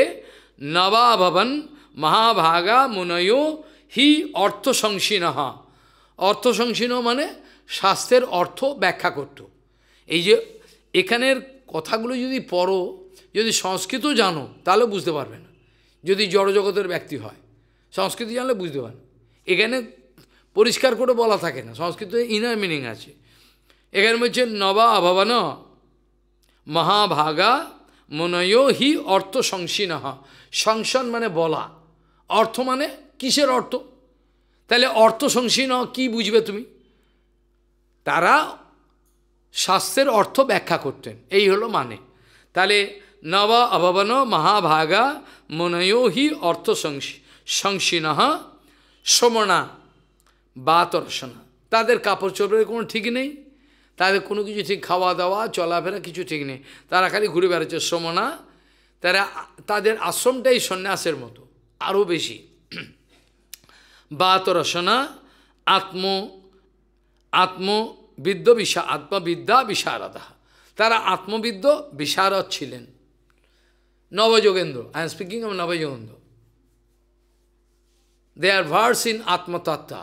They use to travel everywhere without any obstruction নব অভবন মহাভাগা মুনয় হি অর্থ সংসীন সমনা বাতরসনা, আত্মবিদ্যা বিশারদা এই আত্মবিদ্যা বিশারদ ব্যক্তি বর্তমান যদি পুরো পৃথিবীটাকে, এবার তুই চিরুনির মত, চিরুনি চিরুনি দিয়ে উকুন বার করো, যাদের যাদের মাথায় উকুন আছে, তারা চিরুনি দিয়ে বার করে। এরকম যে চিরুনি দিয়ে তুমি আছড়াবার চেষ্টা করো পৃথিবী পৃথিবী থাকে তাহলে কজন পাবে হাতে? আত্মবিদ বিশারদ। এক, দুই, তিন, কজন পাবে? তাহলে বুঝতে পারছ? কী ধরনের জিনিস নিয়ে আমাদেরকে লড়াই করতে হচ্ছে ভগবানের কাছে যাওয়ার জন্য? এটা ছেলে খেলা নয় কিন্তু। হ্যাঁ বলছেন সমনা বা তরসনা আত্মবিদ্যা বিশারদা। তাদের নাম কি? নাম বলছেন কবির হবির অন্তরিক্ষ প্রবুদ পিপ্পলায়ন আবির্হত্র হ্যাঁ আবির্হত্র, অথ দ্রুমিল চমসহ করভাজন। কি কি? এদের নামগুলো বলল। কি কি নাম? কবির, হবির, অন্তরিক্ষ, প্রবুদ্ধ, পিপ্পলায়ন, আবির্হত্র, অথ, দ্রুমিল চমসহ করভাজন। এরা নজন। ত, এতে, ভগবদ রূপম, বিশ্বম, সদসদাত্মকম, আত্মনো, অব্যাতিরেকেণ হ্যাঁ পশ্যন্ত ব্যাচরত মহিম। এরা সারা পৃথিবীটাকে পর্যটন করতেন। এরা সারা পৃথিবীটাকে পর্যটন সেই সেই কবি প্রভৃতি মুনিগণ অত্যন্ত ভগবানের বৃহৎ রূপ, ব্যাপক রূপ, আবার ভগবানের সূক্ষ্ম রূপ। এই দুই তত্ত্বকে তারা স্থূল এবং সূক্ষ্মাত্মক ভাগবত রূপ বিশ্বকে এটাকে তারা দর্শন করতেন। স্ব নিজের আত্মা থেকে অভিন্ন। এ সম্বন্ধে আমি কালকে আলোচনা করব, যখনই যখনই আমি নিজের থেকে আলাদা মনে করব কাউকে, তখনই আমার ভয় আসবে। যখনই আমি ওনাকে মনে করব উনি আমার কেউ না, উনি আলাদা, ফালতু যখন অবশ্য বাইরে আমাকে বিচার করতে হয়। যে অপরাধী, বৈষ্ণব অপরাধী কিছু সিদ্ধান্ত বিরোধ লোককে ঠকাচ্ছে, আমাকে দূরে থাকতে হয়। কিন্তু ভেতরে আমি ঘৃণা যদি করতে থাকি, তাহলে হবে না। আমি জেনে নেব ভগবান এটা বৈচিত্র্য। কেন তারা নালে নালে তারা কেন এরকম করবেন? অর্থাৎ কথা হলো, যখনই আমি নিজের থেকে জগৎটাকে ভিন্ন কল্পনা করব, তখনই আমার মধ্যে ভয় আসবে। এ সম্বন্ধে কালকে আমি বিস্তৃত আলোচনা করব। যখনই আমি জগৎ থেকে নিজেকে আলাদা চিন্তা করব, তখনই আমার মধ্যে একটা ভয় আসবে। আর সমস্ত জগৎকে যদি ভগবত সম্বন্ধে, সমস্ত জগৎকে যদি ভগবত সম্বন্ধে দর্শন করি, তখন আমার মধ্যে ভয় আসবে না। ভগবত সম্বন্ধে। যদি দর্শন করি, তখন আসবে না। ধ্রুব মহারাজ, ধ্রুব মহারাজের সামনে বাঘ এসছিল। বাঘকে এরকম জড়িয়ে আলিঙ্গন করেছিল। বাঘকে, বাঘ কিন্তু আক্রমণ করেনি। বাঘ আক্রমণ করেনি ধ্রুব মহারাজকে তাই ধ্রুব মহারাজের মধ্যে হিংসা ছিল না ভগবত চিন্তন ছিল ওই জন্য ধ্রুব মহারাজ বাঘকে এরকম আলিঙ্গন করেছে আমার হরি বলে জগন্নাথ দাস বাবাজি মহারাজ যখন Jagannath Das Das Maharaj is being carried by his disciple, Bihari. In the way, he meet with one target, tiger. মধ্যিখানে রাস্তা একটা বাঘ সুরে রয়েছে। উনি বৃন্দাবন থেকে জঙ্গলের পথে আসছেন। ঝুড়িতে বসে রয়েছেন। একশো পঁচিশ বছর হয়ে গেছে। জগন্নাথ দাস বাজন এরকম। ঝুড়ির মধ্যে বসে রয়েছেন। আর বিহারি ঝুড়িটাকে নিয়ে যাচ্ছেন। আর সামনে বাঘ শুয়ে রয়েছে। এবার বারবার আবার পেছনে পেছনে পেছনে চলে যাচ্ছেন। তা বিহারি, পিছে কিউ যা রয়ে? পিছনে কেন যাচ্ছিস? বাবা, বাঘ হ্যাঁ সামনে মে। হুয়া ভাত বাঘ নয় এ ভগবান যা কিচ্ছু হবে না জগন্নাথ দাস বাবাজি মাকে বলছে বাঘ বাবা সামনে বাঘ ধর কে বলল বাঘ বাঘ নয় যা ভগবানের ভক্ত যা সত্যিই তাই। ওখানে চলে গেল, বাঘ কিছুই করল না। চৈতন্য মহাপ্রভু পালে পালে বাঘ, সিংহ মহাপ্রভুর সঙ্গে যাচ্ছে। পালে পালে, একটা দুটো না। যখন দক্ষিণ ভারত গেছেন তখন মজাখানা বুঝতে পারবে তুমি যদি থাকতে তার সঙ্গে। আর ঝাড়িকুণ্ডের পথে হাতি থেকে আরম্ভ করে বাঘ, সিংহ মহাপ্রভু কেঁদে কেঁদে চলছেন না একটা বাঘ সিংহের কিছু ক্ষমতা। পাগলা হাতি এসে গেছে। মহাপ্রভু এবং জল থেকে নিয়ে তার গায়ে ছুটে মাঝে বল, হরি বল বল। হরে কৃষ্ণ বল। আর হাতি সুরটাকে তুলে হরে কৃষ্ণ বলছে। খালি সন্ন্যাস নেওয়ার পর মহাপ্রভু কাটোয়া থেকে জঙ্গলের পথে পাঁচ দিন না কদিন ঘুরেছিল জঙ্গলের মধ্যে। এদিকে যাচ্ছে, ওদিকে কিছু বুঝতে পারছে, খালি কৃষ্ণ সন্ন্যাস নেওয়ার পর, রাস্তা বুঝতে পারছে না। না খাওয়া, না দেওয়া, না জল, না কিছু কিচ্ছু না। খালি ঘুরছে, লাট্টুর মতো। বুঝতে পারছে না কোথায় যাবে। এদিকে যাচ্ছে, ওদিকে যাচ্ছে, এদিকে খালি বৃন্দাবনে যাবে। মাথায় খালি এটা ঘুরছে, আমি বৃন্দাবন যাব।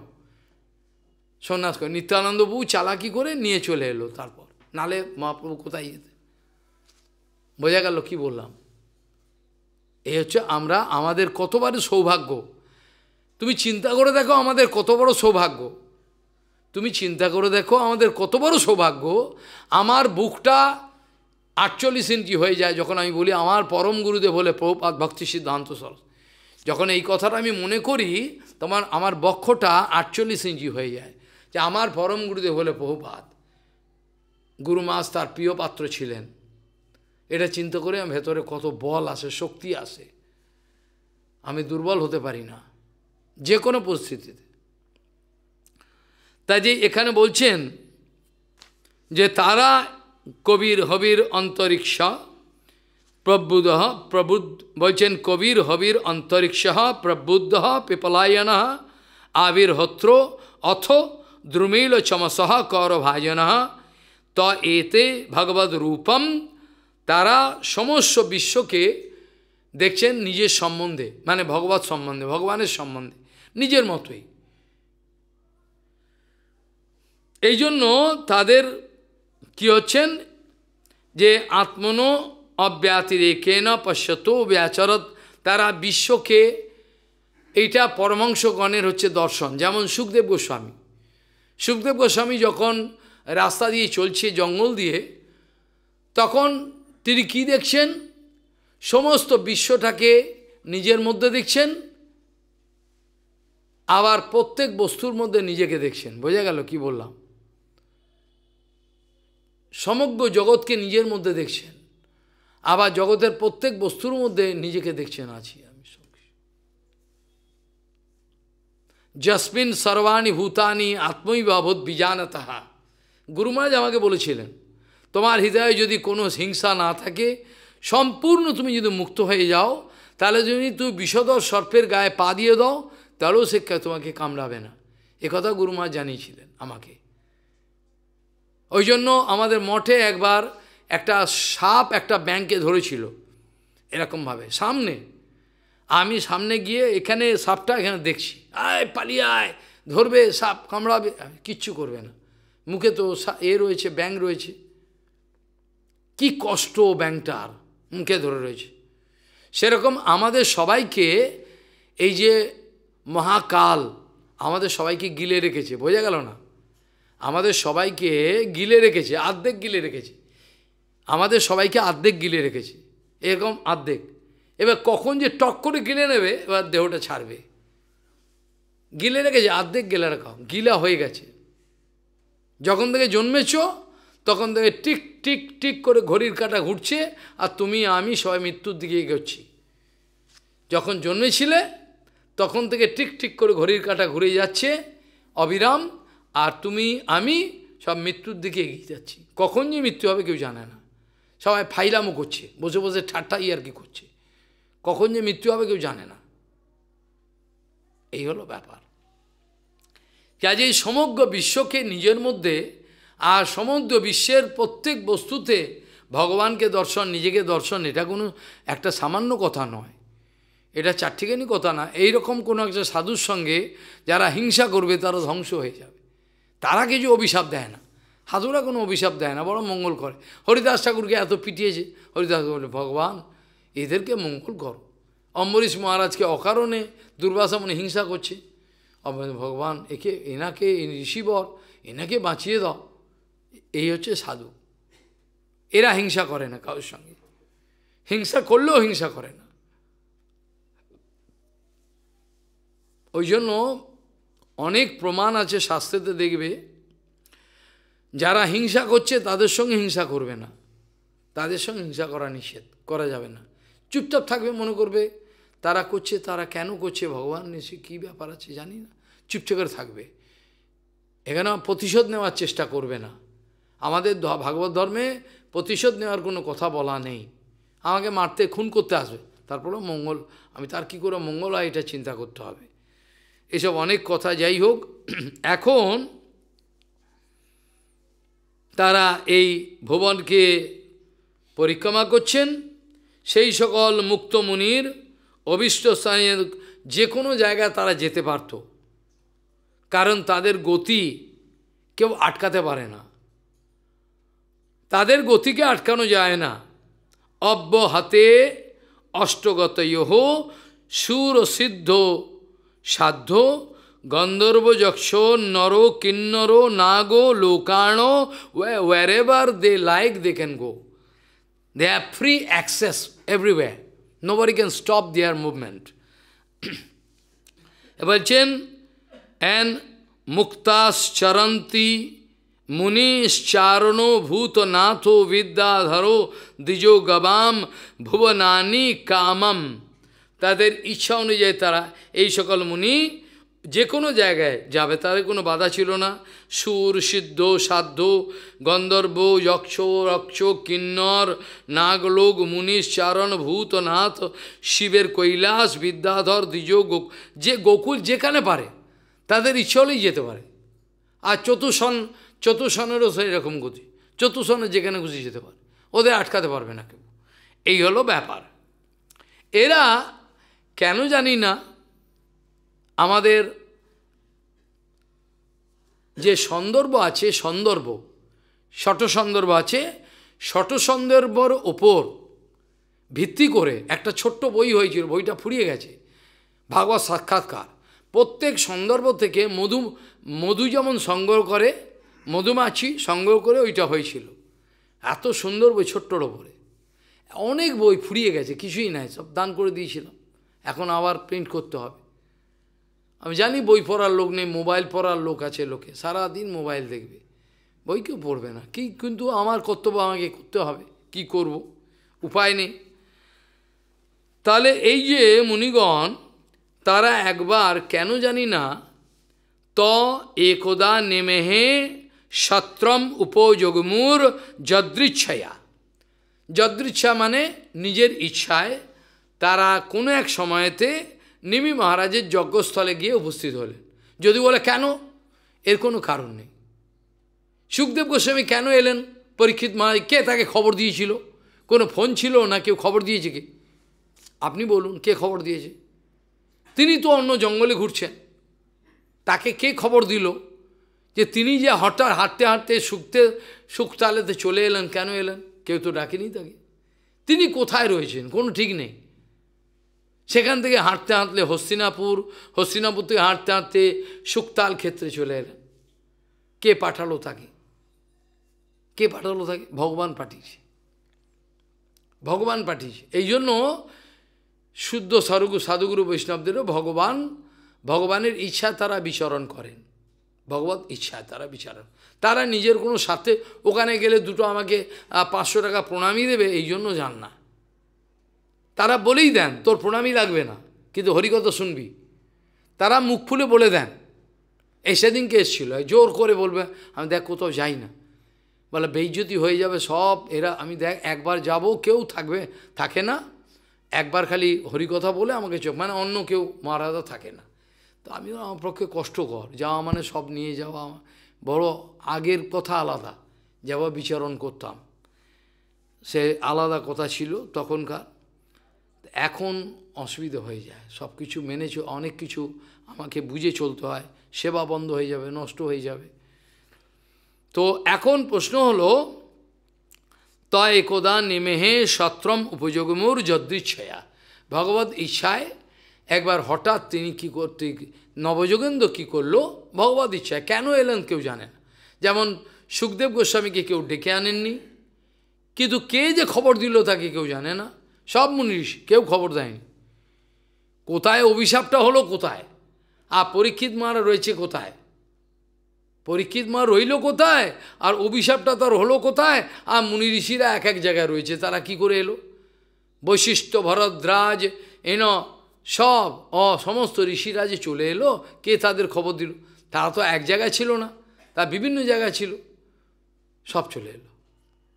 ভগবত ইচ্ছা ভগবত প্রেরণা। অর্থাৎ এটা তাহলে জেনে রাখো, সাধু, গুরু, বৈষ্ণব যারা বিশুদ্ধ, তারা ভগবত প্রেরণায় কাজ করে। কেউ হুজুকে পরে করে না। হ্যাঁ একটা করে ফেলি, আমি একটা দেখিয়ে দেবো লোককে। এই এই নিয়ে করে না তারা। তারা যদি কোনো কাজ ক্রিয়াকর্ম করে থাকে, অনেকে হয়তো দোষ দেয়, কেন এটা করতে গেলেন? কিন্তু ওরা বুঝতে পারে না, ভগবত প্রেরণায় করেছে। তার এসব কিছু কিছু যায় আসে না। করুক বা না করুক, কিছু যায় আসে কোনো কোনো কিছুই তার আসা যায়, আসে যায় কী জন্য করেছে প্রতিষ্ঠা লাভের জন্য আর প্রতিষ্ঠা তো তো বিদেশ গিয়ে লাভ করতে পারে। বিদেশের লোক যা প্রতিষ্ঠা দেবে, এখানে লোক তো তা অনায়াসে যেতে পারে। তা প্রতিষ্ঠায় যদি ইচ্ছা হবে তা কেন করল এটা আমাদের আমরা মাথায়, মাথা ঘামিয়ে বুঝতে পারি না। ভগবত ইচ্ছায় করে তারা। ভগবত ইচ্ছা হয়েছে করল থাক। কাজেই এবার প্রশ্ন হলো, এরা তখন ভগবত ইচ্ছায় এ নবযোগেন্দ্র এবার সেই নিমি মহারাজের সেই যোগ্যস্থানে এসে উপস্থিত হল। ত একদা নেমেহে সত্রম উপযোগমুর যদৃচ্ছয়া হ্যাঁ বিতায়মানা ঋষিভীর হ্যাঁ হ্যাঁ ঋষিভীর প্রিন্টিং মিস্টেক যখনই কোনো প্রিন্টিং মিস্টেক থাকবে তখন এটা আগেকার দিনের প্রিন্টিং তাই বলছেন, ত একদা নিমেহে সত্রম সত্রম উপযোগমুর। এরা তার চলে এলো সেখানে, আর আসবার পর তাকে দেখে নিমি মহারাজের যে যজ্ঞস্থান, সেখানে যত ঋষি, যা যারা যজ্ঞের হোতা ছিল, উদ্গাতা, হোতা, যজমান, সবাই উঠে দাঁড়াল, আনন্দে উঠে দাঁড়াল, সম্মান করলেন। তান দৃষ্টা সূর্য সংখ্যাসনো মহাভাগবতানো নৃপ যজমানো অগ্নয় বিপ্রাহা সর্ব সর্ব এব উপতস্থিরে। সবাই উঠে দাঁড়ালেন, সম্মান করলেন। সবাই তাদেরকে সম্মান, যেমন আমাদের সুখদেব গোস্বামী চলে এলেন। কেউ জানে না, ল্যাংটো বাবা, কাপড় কুপড় কিছু নেই কিছু নেই জন্ম জন্মদের চলছেন। চলতে চলতে কী হলো? লেখা রয়েছে, অলক্ষ লিঙ্গ লিজনাবতুষ্ট, বৃতশ্চ বালই রবধূত বিশাহা চলে এলো। অলক্ষলিঙ্গ সে পরিচয়টা কেউ কেউ জানে না। অলক্ষণ নিজ লাভ শুনত নিজ লাভে তো সন্তুষ্ট, কিছু তোমার থেকে চাই না। গুরু বৈষ্ণবে এটা সিমটম দেখবে। তারা খাওয়া, দাওয়া, পড়া, কোনো কিছু সন্তুষ্ট নেই। করতে হয়, করে তারা। সব ভেতরে সন্তুষ্টি, তাদের ভেতরে সন্তুষ্টি। এই জন্য বলছেন অলক্ষলিঙ্গ নিজলাভ তুষ্ট, বৃতশ্চ বালই রবধূত সাহা বালকরা তার ঘিরে রয়েছে তাকে, মজা করছে তার সঙ্গে, ভেবেছে ল্যাংটো বাবা পাগল, আর মজা করছে, ও রাস্তা দিয়ে চলছে। এইভাবে চলে এলো। কে পাঠালো? ভগবান পাঠালো। এইভাবে নবযোগন্ধ এখানে চলে এলো। প্রত্যেকটা ব্যক্তি সেই যজ্ঞস্থলে সবাই উঠে দাঁড়ালেন। বিদেহ স্থান অভিপ্রেত্য নর নারায়ণ পরায়ণা, পরায়ণানো প্রীত সংপূজায়ন চক্র। আসনস্থান যথা আরহতা। নিমি মহারাজ উঠে দাঁড়ালেন এবং তাদেরকে পূজা করলেন, পা ধোয়ালেন, আসনে বসালেন, সবাই করে সম্মান করে থাকবে বিদেহ, স্থান অভিপ্রেত্য তাদেরকে বুঝতে পারলেন, এরা নারায়ণ পরায়ণ, এরা ভগবানের ভক্ত। তারা আমার কাছে কৃপা করবার জন্য এসছেন। আবার অনেকে মনে করে সাধুগুরু যে আপদ এলো এরা মনে করে। এমনও জায়গা আছে যেখানে সাধুগুরু বিশুদ্ধ গুরু গেলে হলে আপদ এলো। এই আবার জ্বালাতে এলো আমাদের। হ্যাঁ সত্যি কথা বলবে। এরকমই আছে। আবার অনেকে যারা জানেন তারা আনন্দে আটখানা ভালোবেসে এসছেন। যার যেরকম রুচি মহারাজ, কিছু করার নেই। তাই এখানে কি করল? বিদহ মহারাজ, নিমি মহারাজ কি করলেন? তাদেরকে বুঝতে পারলেন, এরা নারায়ণ পরায়ণ, প্রচণ্ড প্রসন্ন হলেন। এবং সংপূজয়ান চক্র, তাকে তাদেরকে সব পুজো করলেন। আর আসন স্থানও যথার তাদেরকে আসন এবং স্থান বসার আসন আসন সব দিলেন। দিয়ে তানো রোচমানানো স্বরুচা ব্রহ্মপুত্র উপমানো নব প্রপচ্ছ পরম পরমপীত প্রশ্রয় অবনত নিপহ প্রশ্রয়বন অত্যন্ত বিনম্র ভরে মাথা নিচু করে অত্যন্ত বিনম্র ভরে মাথা নিচু করে এবার প্রশ্ন করছেন পরমাপিত নিপ কেন তারা নিজের তেজেতে জাজ্জল্যমান কোনো একটা বৈষ্ণবের দিকে যদি আপনাদের অভিজ্ঞতা থাকে, যদি আপনাদের কারোর অভিজ্ঞতা থাকে, ভজন করতে করতে তার দেখবেন, একটা বৈষ্ণবের দিকে তাকালে দেখে মনে হয় একটা তেজ বেরোচ্ছে, গা দিয়ে মনে হচ্ছে একটা আগুন বেরোচ্ছে। একটা বৈষ্ণবের দিকে তাকালে বোঝা যায় তার ভেতর দিয়ে মনে একটা তেজ বেরোচ্ছে আগুনের যেমন হলকা কিন্তু সাধারণ লোক এটা দেখতে পায় না। সেই জন্য সুখদেব গোস্বামীর গা দিয়ে যে তেজ বেরোচ্ছে, এটা কিন্তু সাধারণ লোক বুঝতে পারেনি। বাচ্চাগুলো তাকে ঢিল ছুটছে কিন্তু সভাতে যখনই ছুটে এলো, সভাতে যখনই এসে পৌঁছালো, তখন সেখানে লেখা রয়েছে মুনির্ষিগণ সবাই উঠে দাঁড়ালেন তারা হাজার হাজার বছরের আয়ু তাদের। বশিষ্ঠ ভরদ্রাজ নারদ থেকে আরম্ভ করে কোনো ঋষি এমন বাদ নেই, সবাই আছেন। কিন্তু সবাই উঠে দাঁড়ালেন। পরাশর ঋষি ঠাকুরদাতা তাদের আয়ু কত? সবাই উঠে দাঁড়ালেন। কেন? উঠে দাঁড়াবার কী দরকার? এ তো অনেক বয়স। বলে না, তা বললে হবে না। উঠে দাঁড়া, কেন? তারা জানেন, এ ষোলো বছরের বয়স দেখলে কি হবে? এ তো মহান তেজিয়ান সাধু, সেই জন্য উঠে দাঁড়ালেন সবাই। তারা তো উঠে দাঁড়াবার দরকার ছিল না। বশিষ্ঠ ভরদাস ভরতরাজ চবন হ্যাঁ মৈত্রীয় সব মুনি ঋষি সবাই উঠে দাঁড়ালেন। কেন? বলছে, সেখানে লেখা আছে, আগুন চাপা ছাই। শুনেছেন কোনো দিন আগুন চাপা ছাই। তার তেজটা ওরা বুঝতে পারছেন, সাধারণ লোক বুঝতে পারছে না। তার গাটা কিন্তু সব ময়লা দিয়ে ভর্তি, ধুলো ময়লা। তার গায়েতে কিন্তু ধুলো ময়লা রয়েছে সব। কিন্তু যারা বোঝা, সে বুঝছে এই কত বড় তেজিয়ান ব্যক্তি। ওই জন্য সবাই সেখানে উঠে দাঁড়াবার চেষ্টা উঠে দাঁড়াল। তার এই যে গুপ্ত তেজ, মনে হচ্ছে ছাই চাপা আগুন। আগুনটা চাপা যায় না। যারা চেনা, তারা চেনে, বোকা লোকগুলো চেনে না। বইগুলো হিসাব করে উনিকে পয়সা আছে নাকি? কত লোককে, হাজার হাজার লোককে দীক্ষা দিয়েছে কিনা? বিদেশ গেছে কিনা? নাহলে ফালতু লোক। এরা চিনবে না। এরা এই হিসাবে বিচার করবে। জাগতুর লোক এই হিসাবে কত দেশে গেছে, কবার কত শিষ্য বানিয়েছে, এই সব বিচার করবে। কিন্তু যারা বাস্তবিক সাধু, তারা এটা করবে না। যেমন আমি যদি উদাহরণ দিতে থাকি, রাত কাবার হয়ে যাবে। রাত কাবার হয়ে যাবে। আমাদের প্রভুপাদ সাগর মহারাজ বলে একজন ছিলেন। তাকে তিনি এত ভালোবাসতেন, কল্পনা করা যায় না। কিন্তু তাকে প্রচারে পাঠাতেন। তিনি ভালো হরিকথা বলতে পারতেন না। সভাতে যেই তিনি হরিকথা শুরু করতেন, লোকে চলে যেত, থাকতো না। তিনি হরিকথা বলতে পারতেন না ভালো। কিন্তু বহুবার তাকে প্রচারে পাঠাতেন।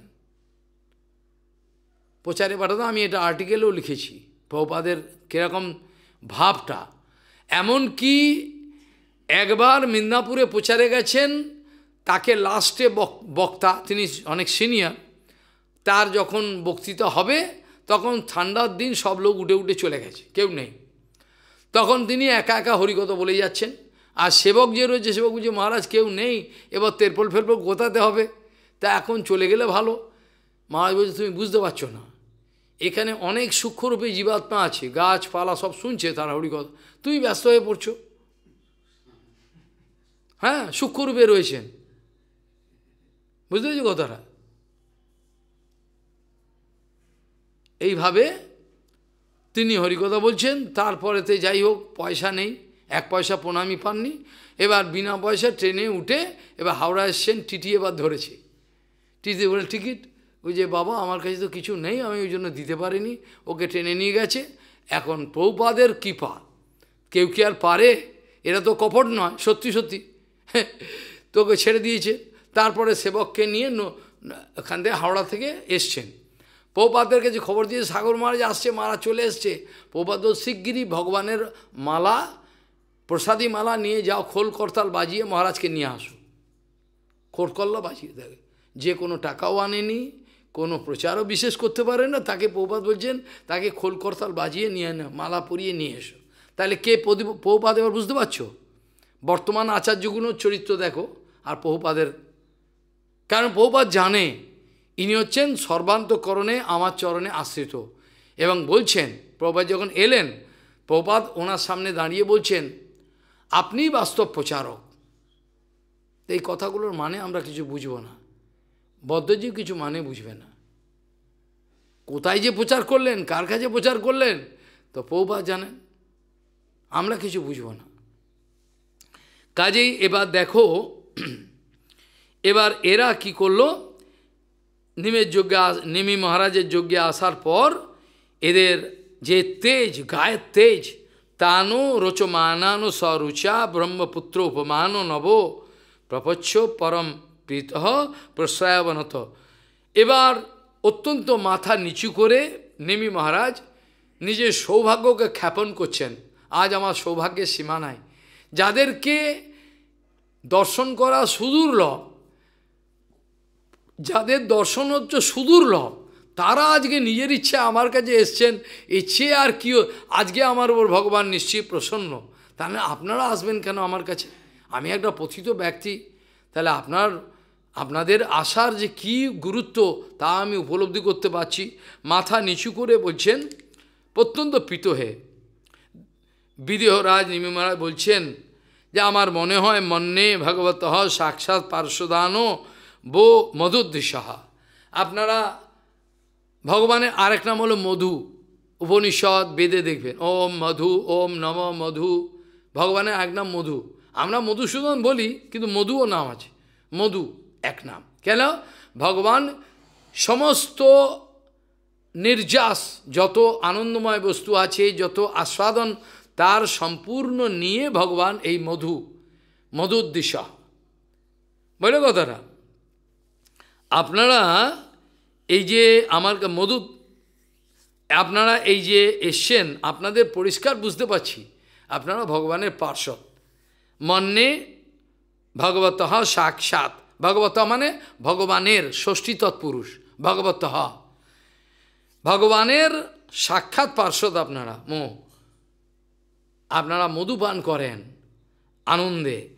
বিষ্ণুর ভূতানি লোকা লোকানাম পাবনায় চরন্তি হি হি মানে হি মানে নিশ্চিতমেব নিশ্চিত পরিমাণে আপনারা জগতের মঙ্গলের জন্য বিচরণ করেন অন্য কোনো আপনাদের স্বার্থ নাই কোনো সাধু বাস্তবিক কোনো টাকা পয়সা পাওয়ার জন্য ওখানে গেলে অত টাকা প্রণামী পাবো এই জন্য যান না তারা প্রণামী দিয়ে তো রেখে দে আমার চলে যায় রেখে দে প্রণামী রেখে দে তোদের লাগবে কাজ তারা বলে দেয় তো রেখে দে তোদের কাজে লাগবে তো ওরা জগতের মঙ্গলের জন্য যান। তাদের কাউ টাকা পয়সা পাবো, কেউ চারটি মালা দেবে, আমার পা ধোয়াবে, এই জন্য তারা। এই জন্য তারা যান না। তাই জন্য বলল, এখানে বলছেন, মন্নে ভগবত সাক্ষাৎ পার্শ্বদান বো মধুদ্দেশ বিষ্ণুর্ভূতানি লোকানাম পাবনায় চরন্তি দুর্লভ মনুষ্য দেহ দেহিনাম ক্ষণভঙ্গরহা তত্রাপি দুর্লভম মান্যে বৈকুণ্ঠ প্রিয় দর্শনম। বলছে দেখুন, মনুষ্য জন্ম তো সুদুর্লভ। আমরা যে মনুষ্য জন্ম লাভ করেছি, নবদ্বীপ ধামে থাকার যে সৌভাগ্য লাভ করেছি, এটা যে কত অনন্ত কোটি জন্মের ফল, এটা যদি কেউ বুঝতো এখানে, তাহলে আর সে পাগলামো করতো না। খালি নবদ্বীপ নাম শুনলেই কৃতকৃতার্থ হয়ে যায়। শঙ্কর, ব্রহ্মা, খালি নবদ্বীপ, দাম কি? ইয়ে হোক শুনলেই হয়ে যায়। কিন্তু সেই নবদ্বীপের সাক্ষাৎ আছে। সাক্ষাৎ। কল্পনা করা যায় না। যেখানে দেবতারা থাকার ইচ্ছা করে, মনি ঋষি সবাই গুপ্তরূপে বিচরণ করে, সেই নবদ্বীপ দ্বীপে ঘোড়ার ঘাস ঘাস কাটছি বসে বসে। ঘোড়া খাবে, ঘাস কাটছি।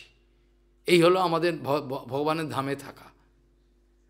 চব্বিশটা ঘণ্টার মধ্যে চব্বিশটা ঘণ্টা ভগবানের কথা কীর্তন নিয়ে যে ব্যক্তি থাকতে পারবে না, তার পতন অস, অবশ্যম্ভাবী। পৌপাত বলছেন, কালকে আলোচনা করব। হয় মানসিকভাবে না শারীরিকভাবে। দুরকম, যে কোনোভাবে করতেই হবে, না করলে হবেই না। আর কোনো রাস্তা নেই। যে সময়টা তুমি গ্যাপিং দেবে, যে সময়টা তুমি গ্যাপ দেবে, সেই সময় মায়া ঢুকে পড়বে।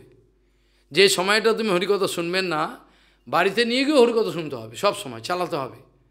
নাহলে অন্যদিকে মাথা চলে যাবে, সব সময়। আর যদি চালাবো না? না, চালাও, তোমাদের বাবা তোমাদের খুশি। তাহলে বলছেন এখানে যে, দুর্লভ মানুষ দেহ দেহি নাম ক্ষণভঙ্গুরা সত্যিই তাই। চুরাশি লক্ষ জনই চুরাশি লক্ষ জনই ভ্রমণ করতে করতে এবার তোর মানুষ জন্ম লাভ হয়েছে। পূর্বের জন্মগুলো যদি দেখানো যেত ছবির মতো, তাহলে পাগল হয়ে যেত। পূর্বে কে কী ছিল, তার যদি পূর্বের ইতিহাসটা দেখানো যায়, এর জন্মের আগে কি ছিল, তার জন্মের আগে কি তার জন্মে, তাহলে ভেতরটা আঁতকে উঠবে। কেউ আফ্রিকার জঙ্গলে সাপ হয়েছিল, কেউ হয়তো সুন্দরবনের বাঘ ছিল, হাতি ছিল, সাপ ছিল, কে কি ছিল কেউ জানে না, বাঁদর ছিল। করতে করতে এখন মানুষ জন্ম হয়েছে। তারা হেলায় ফেলায় এই মানুষ জন্মটাকে নষ্ট করে দেবে। যেটা আমি বলেছিলাম সেদিন মনে আছে? স্বর্গের দেবতারা বলছে, ভগবান, যদি আমাদের কিছু সুকৃতি অবশেষ থাকে, আমাদের এই, তাহলে দয়া করে আপনাদের, আমাদেরকে একটু ভারতবর্ষে জন্ম দেবেন মানুষরূপে কে দেবতারকে জন্ম হলে অভিমান থাকে। কেন সমস্ত রকম সিদ্ধিগুলো থাকে। অনিমা, মহিমা, লগিমা, প্রকাম, কাম, যত সিদ্ধি সব সিদ্ধিগুলো দেবতাদের ভজন হবে কি? যতক্ষণ আমরা দৈন্য না আশ্রয় করব, আমার কি আছে? পৌপা চৌষট্টিটা মত করার পরেও বলছিল আমি নিষ্কিঞ্চন। পৌপা চৌষট্টিটা মত করার পরে বলছিলেন, আমি নিষ্কিঞ্চন, আমাকে আক্রমণ করে কি পাবে? তাহলে চৌষট্টিটা মঠ করে উনি নিষ্কিঞ্চন। আমরা ভজন কুটির থেকেও নিষ্কিঞ্চন হতে পারি না। তাহলে পার্থক্যটা বুঝো। তাহলে কাকে বলে নিষ্কিঞ্চন? কাকে বলে আকিঞ্চন? পরমাংশ? আর কি আমাদের অবস্থায় পার্থক্যটা অনুভব করা? এটা অনুভবের কথা, এটা রাগের কথা না। এ, এটা যদি কেউ একটা অভিমান করে ফেলে, তাহলে হয় না। এটা অনুভব করতে, সত্যিই তো তাই। আমাকে এমন সাধু হতে হবে যে হাজার হাজার লোক আমার সামনে হরিকথা শুনবে। আমার সামনে না, আমার গুরুমায়ের সামনে পৌবাদের সামনে। মুখ দিয়ে বেরোবে, তাদের মঙ্গল হবে আমি প্রমাণ করতে চাই না, আমি নিষ্কিঞ্চন। আমি প্রমাণ করতে চাই না, আমার মতো নিষ্কিঞ্চন সাধু আর জগতে নিটা আমার প্রমাণ করার কোনো ইচ্ছা নেই। বরঞ্চ লোকে যদি মনে করে বিষয়ই ভালো, আমার এটি চাই। আমারে বিষয়ী পাগল বলিয়া অঙ্গেতে দিবেকে ধুলা। কীর্তনটা করেছে কোনো দিন কী কীর্তন বলো তো? গুরুদেব কবে তব করুণা প্রকাশে হ্যাঁ? শ্রী গৌরাঙ্গ লীলা হয় নিত্য তত্ত্ব, এই দৃঢ় বিশ্বাসে। কীর্তন করার সময়ই বা কই? করলে তো লোকে আনন্দ পাবে প্রচুর। তাহলে এই দৃঢ় বিশ্বাসে। এই কীর্তন করে দেখবে, সেখানে বলা আছে, আমার এ বিষয়ই পাগল বলিয়া অঙ্গেতে দুপুর। পৌপাত একেবারে স্মার্ট একদম হিরো। সাহেবদের সামনে কথা বলছেন। আবার ভেতরে নিষ্কিঞ্চন পৌপাদের মতো নিষ্কিঞ্চন কে আছে দেখাও। আছে কেউ? কিন্তু বাইরে দেখাচ্ছেন সাহেবদের সঙ্গে কথা বলছে সব কিছু। বড় বড় লাট সাহেব আসছেন, তাদেরকে নেমন্তন্ন করে আসছেন, কথা বলছেন হ্যাঁ? বড় বড় লোকের সঙ্গে কথা বলছে সব কিছু নিষ্কিঞ্চন ভাবটা বাইরে দেখাবার বস্তু নয়। তাহলে রাধারানীর মতো নিষ্কিঞ্চন আর কেউ আছে? বলুন তো। রাধারানী আর গোপিকাদের মতো নিষ্কিঞ্চন কে আছে? দেখাও আমাকে। কেউ নেই। কিন্তু বাইরের দৃশ্যে তারা ভালো কাপড় পরে রয়েছেন, গয়না ঘাটি সব কিছু রয়েছে। নিষ্কিঞ্চন, তাদের মধ্যে নিষ্কিঞ্চন আর কেউ নেই। তাহলে আমাদের ওই যে শ্লোক দুটো বলেছিলাম কোনো দিন ব্যাখ্যা হলে বুঝতে পারবে। অনাসক্তস্ব বিষয়ানো যথার্হম পূজঞ্জত কৃষ্ণ সম্বন্ধে হ্যাঁ? হ্যাঁ? যুক্তম বৈরাগ্যমুজ। প্রাপঞ্চিকতয়া বুদ্ধ্যা হরি সম্বন্ধে বস্তুন মুমুক সৌভীর পরিত্যাগ বৈরাগ্যম ফল্গু পদ্ধতি এই দুটো ফর্মুলা যদি কেউ জীবনে বুঝতে পারে, তাকে ভগবান হাতের মুঠোয় চলে আসবে। এই দুটো ফর্মুলা যে বুঝবে জীবনে। এই গোপন গোপন রহস্য, এই দুটো শ্লোকের। যে ব্যক্তি বুঝতে পারবে, তার আমি ব্যাসাসনে বলছি গ্যারেন্টি দিচ্ছি, ভগবান তার কাছে অনায়াসে আসবে। তাকে অনুভব করতে হবে। এই দুটো শ্লোকের মানে কি? কীভাবে আমাকে ভজন করতে হবে? আরে আমি বৈরাগ্য দেখিয়ে করবোটা কি? ভগবানের কি সুবিধে করে দিলাম? আমি নয়, বাসি রুটি খেয়ে রইলাম দুটো। তা ভগবানের কি সুবিধে হলো? ভগবানকে কিছু সুবিধে করে দিলাম কি? হ্যাঁ? ভগবানকে কি সুবিধে করে দিলাম আমি? আমি বাসি রুটি খেয়ে রয়েছি। আর তুমি খাও? ভগবানের কি করলে তুমি? কিছু করেছ? সেবাই হলো প্রধান। সেবাই হলো যে যে বুদ্ধি নিয়ে চলবে, তার সেই রকম গতি হবে। যে যে বুদ্ধি নিয়ে চলবে, তার সেই গতি হবে। আমার কিছু করার নেই। ওই জন্য সেবাই হলো প্রধান। যে সেবাতে আনন্দে উৎসাহে, সেবা দেখলেই আনন্দে নাচতে থাকবে, তার জীবন আনন্দে ভরে যাবে, আনন্দে ভরে যাবে সেবায়। ভগবানকে সুখী করবার চেষ্টা, এর নাম হলো সেবা। যাই হোক, এখন চুরাশি লাখ জনই চুরাশি লাখ জনই ভ্রমণ করতে করতে কখনো এই মনুষ্য জন্ম লাভ, মনুষ্য জন্ম লাভ যেটা দেবতারা বলছেন, আমাদেরকে দয়া করে মনুষ্য জন্ম দেবেন। যদি আমাদের স্বীকৃতি থাকে, ভারতবর্ষে আমরা জন্মাবো, এখানে আমরা ভজন করব আপনার। দেবতারা বলছে স্বর্গের। আর আমরা এই মানুষের জন্য পেয়ে নবদ্বীপী জায়গায় পেয়েছি সব কিছু করে তারপরেও আর আমাদের কোনো টনক নড়ে না। টনক বোঝো? টনক নড়ে না। মাতা ওই রকমই রয়েছে। জলজা নবলক্ষানি স্থাবরা বিংশলক্ষতি হ্যাঁ না, ইত্যাদি এইসব কথাগুলো হ্যাঁ শ্রবণ করলে বুঝতে পারবে। কোনো সময় আলোচনা হলে বুঝতে পারবে মানুষ্য জন্মটা কত সুদূর্লভ হ্যাঁ না জলযান অবলক্ষানি সাবরা বিংশলক্ষতি ক্রময়ো রুদ্র সংখ্যকা পক্ষিণাম দশলক্ষকম ত্রিংশত লক্ষানি পশব চতুর্লক্ষানি মানব কালকে আলোচনা আজকে সময় নেই। তা বলছেন যে দুর্লভ মানুষ দেহ দেহি নাম শনভঙ্গুরাহা, তত্রাপি দুর্লভ মন্যে বৈকুণ্ঠ প্রিয় দর্শন। একে তো মনুষ্য জন্ম অত্যন্ত সুদুর্লভ, একে তো মনুষ্য জন্ম অত্যন্ত সুদুর্লভ, এটা তো আছেই। সে তো হয়ই না মানুষ একবার বাই চান্স হয়ে গেছে। তার সঙ্গে সঙ্গে আরও আশ্চর্য হলো সাধুগুরু বৈষ্ণবের দর্শন। এটা তো হয়ই না। হতে পারে মানুষের জন্য কই অনন্ত যায় ব্রহ্মাণ্ড, তার মধ্যে কত লোক, কত জীব সাধুর সঙ্গে কার দেখা হচ্ছে বলো? আমাদের সৌভাগ্য যে এই রকম মহাপুরুষগণের সঙ্গে আমাদের দেখা হয়েছে। সেটা ভক্তিপ্রমোদ পুরী গোস্বামী মহারাজ আদি, এত বড় বড় সাধুগুলোর সঙ্গে দেখা হয়েছে আমাদের। আমাদের কত বড় সৌভাগ্য চিন্তা করো। একে তো মানুষের জন্য পাওয়া যায় না, আর সাধুসঙ্গ তো পাওয়াই যায় না। সুদূর্লভ অত্যন্ত সুদূর্লভ আর বাই চান্স পেয়েছি। এখন তারপরেও যদি হারিয়ে ফেলি, তাহলে আর লাভ কি? এখন আমি নিমি মহারাজের কথা আলোচনা করতে হয়। নিমি মহারাজ ভাবছেন যে মানুষের সঙ্গে যদি মানুষের দেখা হয়, নিয়ম কি? একটা মানুষের সঙ্গে যদি দীর্ঘদিন পরে তোমার দেখা হয়, নতুন, তুমি নাম শুনেছো, কিন্তু দেখা হয়নি। দেখ, কেমন আছেন, কোথা থেকে এলেন, কি? এইগুলো কথা বলতে হয় তো? ভালো আছেন তো? কিন্তু একজন সাধুর সঙ্গে এই লোক ব্যবহার চলে না। ওদেরকে জিজ্ঞাসা করো, পেছনে বসে রয়েছে। আজ পর্যন্ত আমাকে কেউ চিঠিতে লেখেনি, শ্যামবাবা, আপনি কেমন আছেন? এত চিঠি। Nobody writing how you are কেন তারা জানে এনাকে এইসব প্রশ্ন করা বেকার? আজ পর্যন্ত চিঠিগুলো দেখো, সব ইন্টারনেটে রয়েছে, কোন কিছু ওরা দেয় না অনেক সময়। কিন্তু কোনোদিন কেউ প্রশ্ন করেন, কেমন আছেন? কেউ কোনোদিন করেন। জানে এনাকে এই প্রশ্ন করার বিধা। দণ্ডবোধ করে সঙ্গে সঙ্গে শুরু শুরু করে দেবে। চিঠি কী বলতে চাইছে? আশ্চর্য ব্যাপার। আজ চিঠিতে লিখতে হয়, কেমন আছেন, কী ব্যাপার? এগুলো নিয়ম, কিন্তু কোনো লেখে না। এরা জানে, এনার কাছে এসব প্রশ্ন করা পাগল। ইনি একটা পাগল লোক, এনার কাছে এসব জিজ্ঞাসা করে কোনো লাভ হবে না। সেই জন্য নিমি মহারাজ ভাবছেন, এই যে নবযোগন্ধ এসছে, তাদেরকে কোথা থেকে এলেন?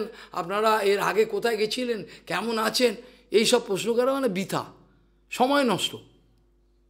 এইসব কষায় লোক, এটা লিখে বলে লোক ব্যবহার। লোক ব্যবহার। অনেক মহারাজকে বলতে শুনেছি, বামন গোসাই মহারাজ বলতেন, অনেক কথা আছে, আমি দু একটা কথার মধ্যে শেষ করতে চাই। বামন মহারাজ বলতেন, অনেক হই হাল্লা, চারিদিকে ছই ছই, তার মধ্যে আমি নির্জনে থাকতে পারি। এই কথাটার মানে কেউ বোঝে না।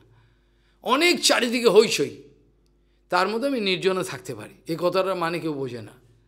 আমাকে একজন শিষ্য, ওনারই শিষ্য জিজ্ঞেস এর মানে কি মহারাজ? আমি তখন তাকে বুঝিয়ে বললাম, এই কথাটার মানে এই। শুদ্ধ গুরু বৈষ্ণবরা লোক ব্যবহারে আর যেতে পারে না। হয় না।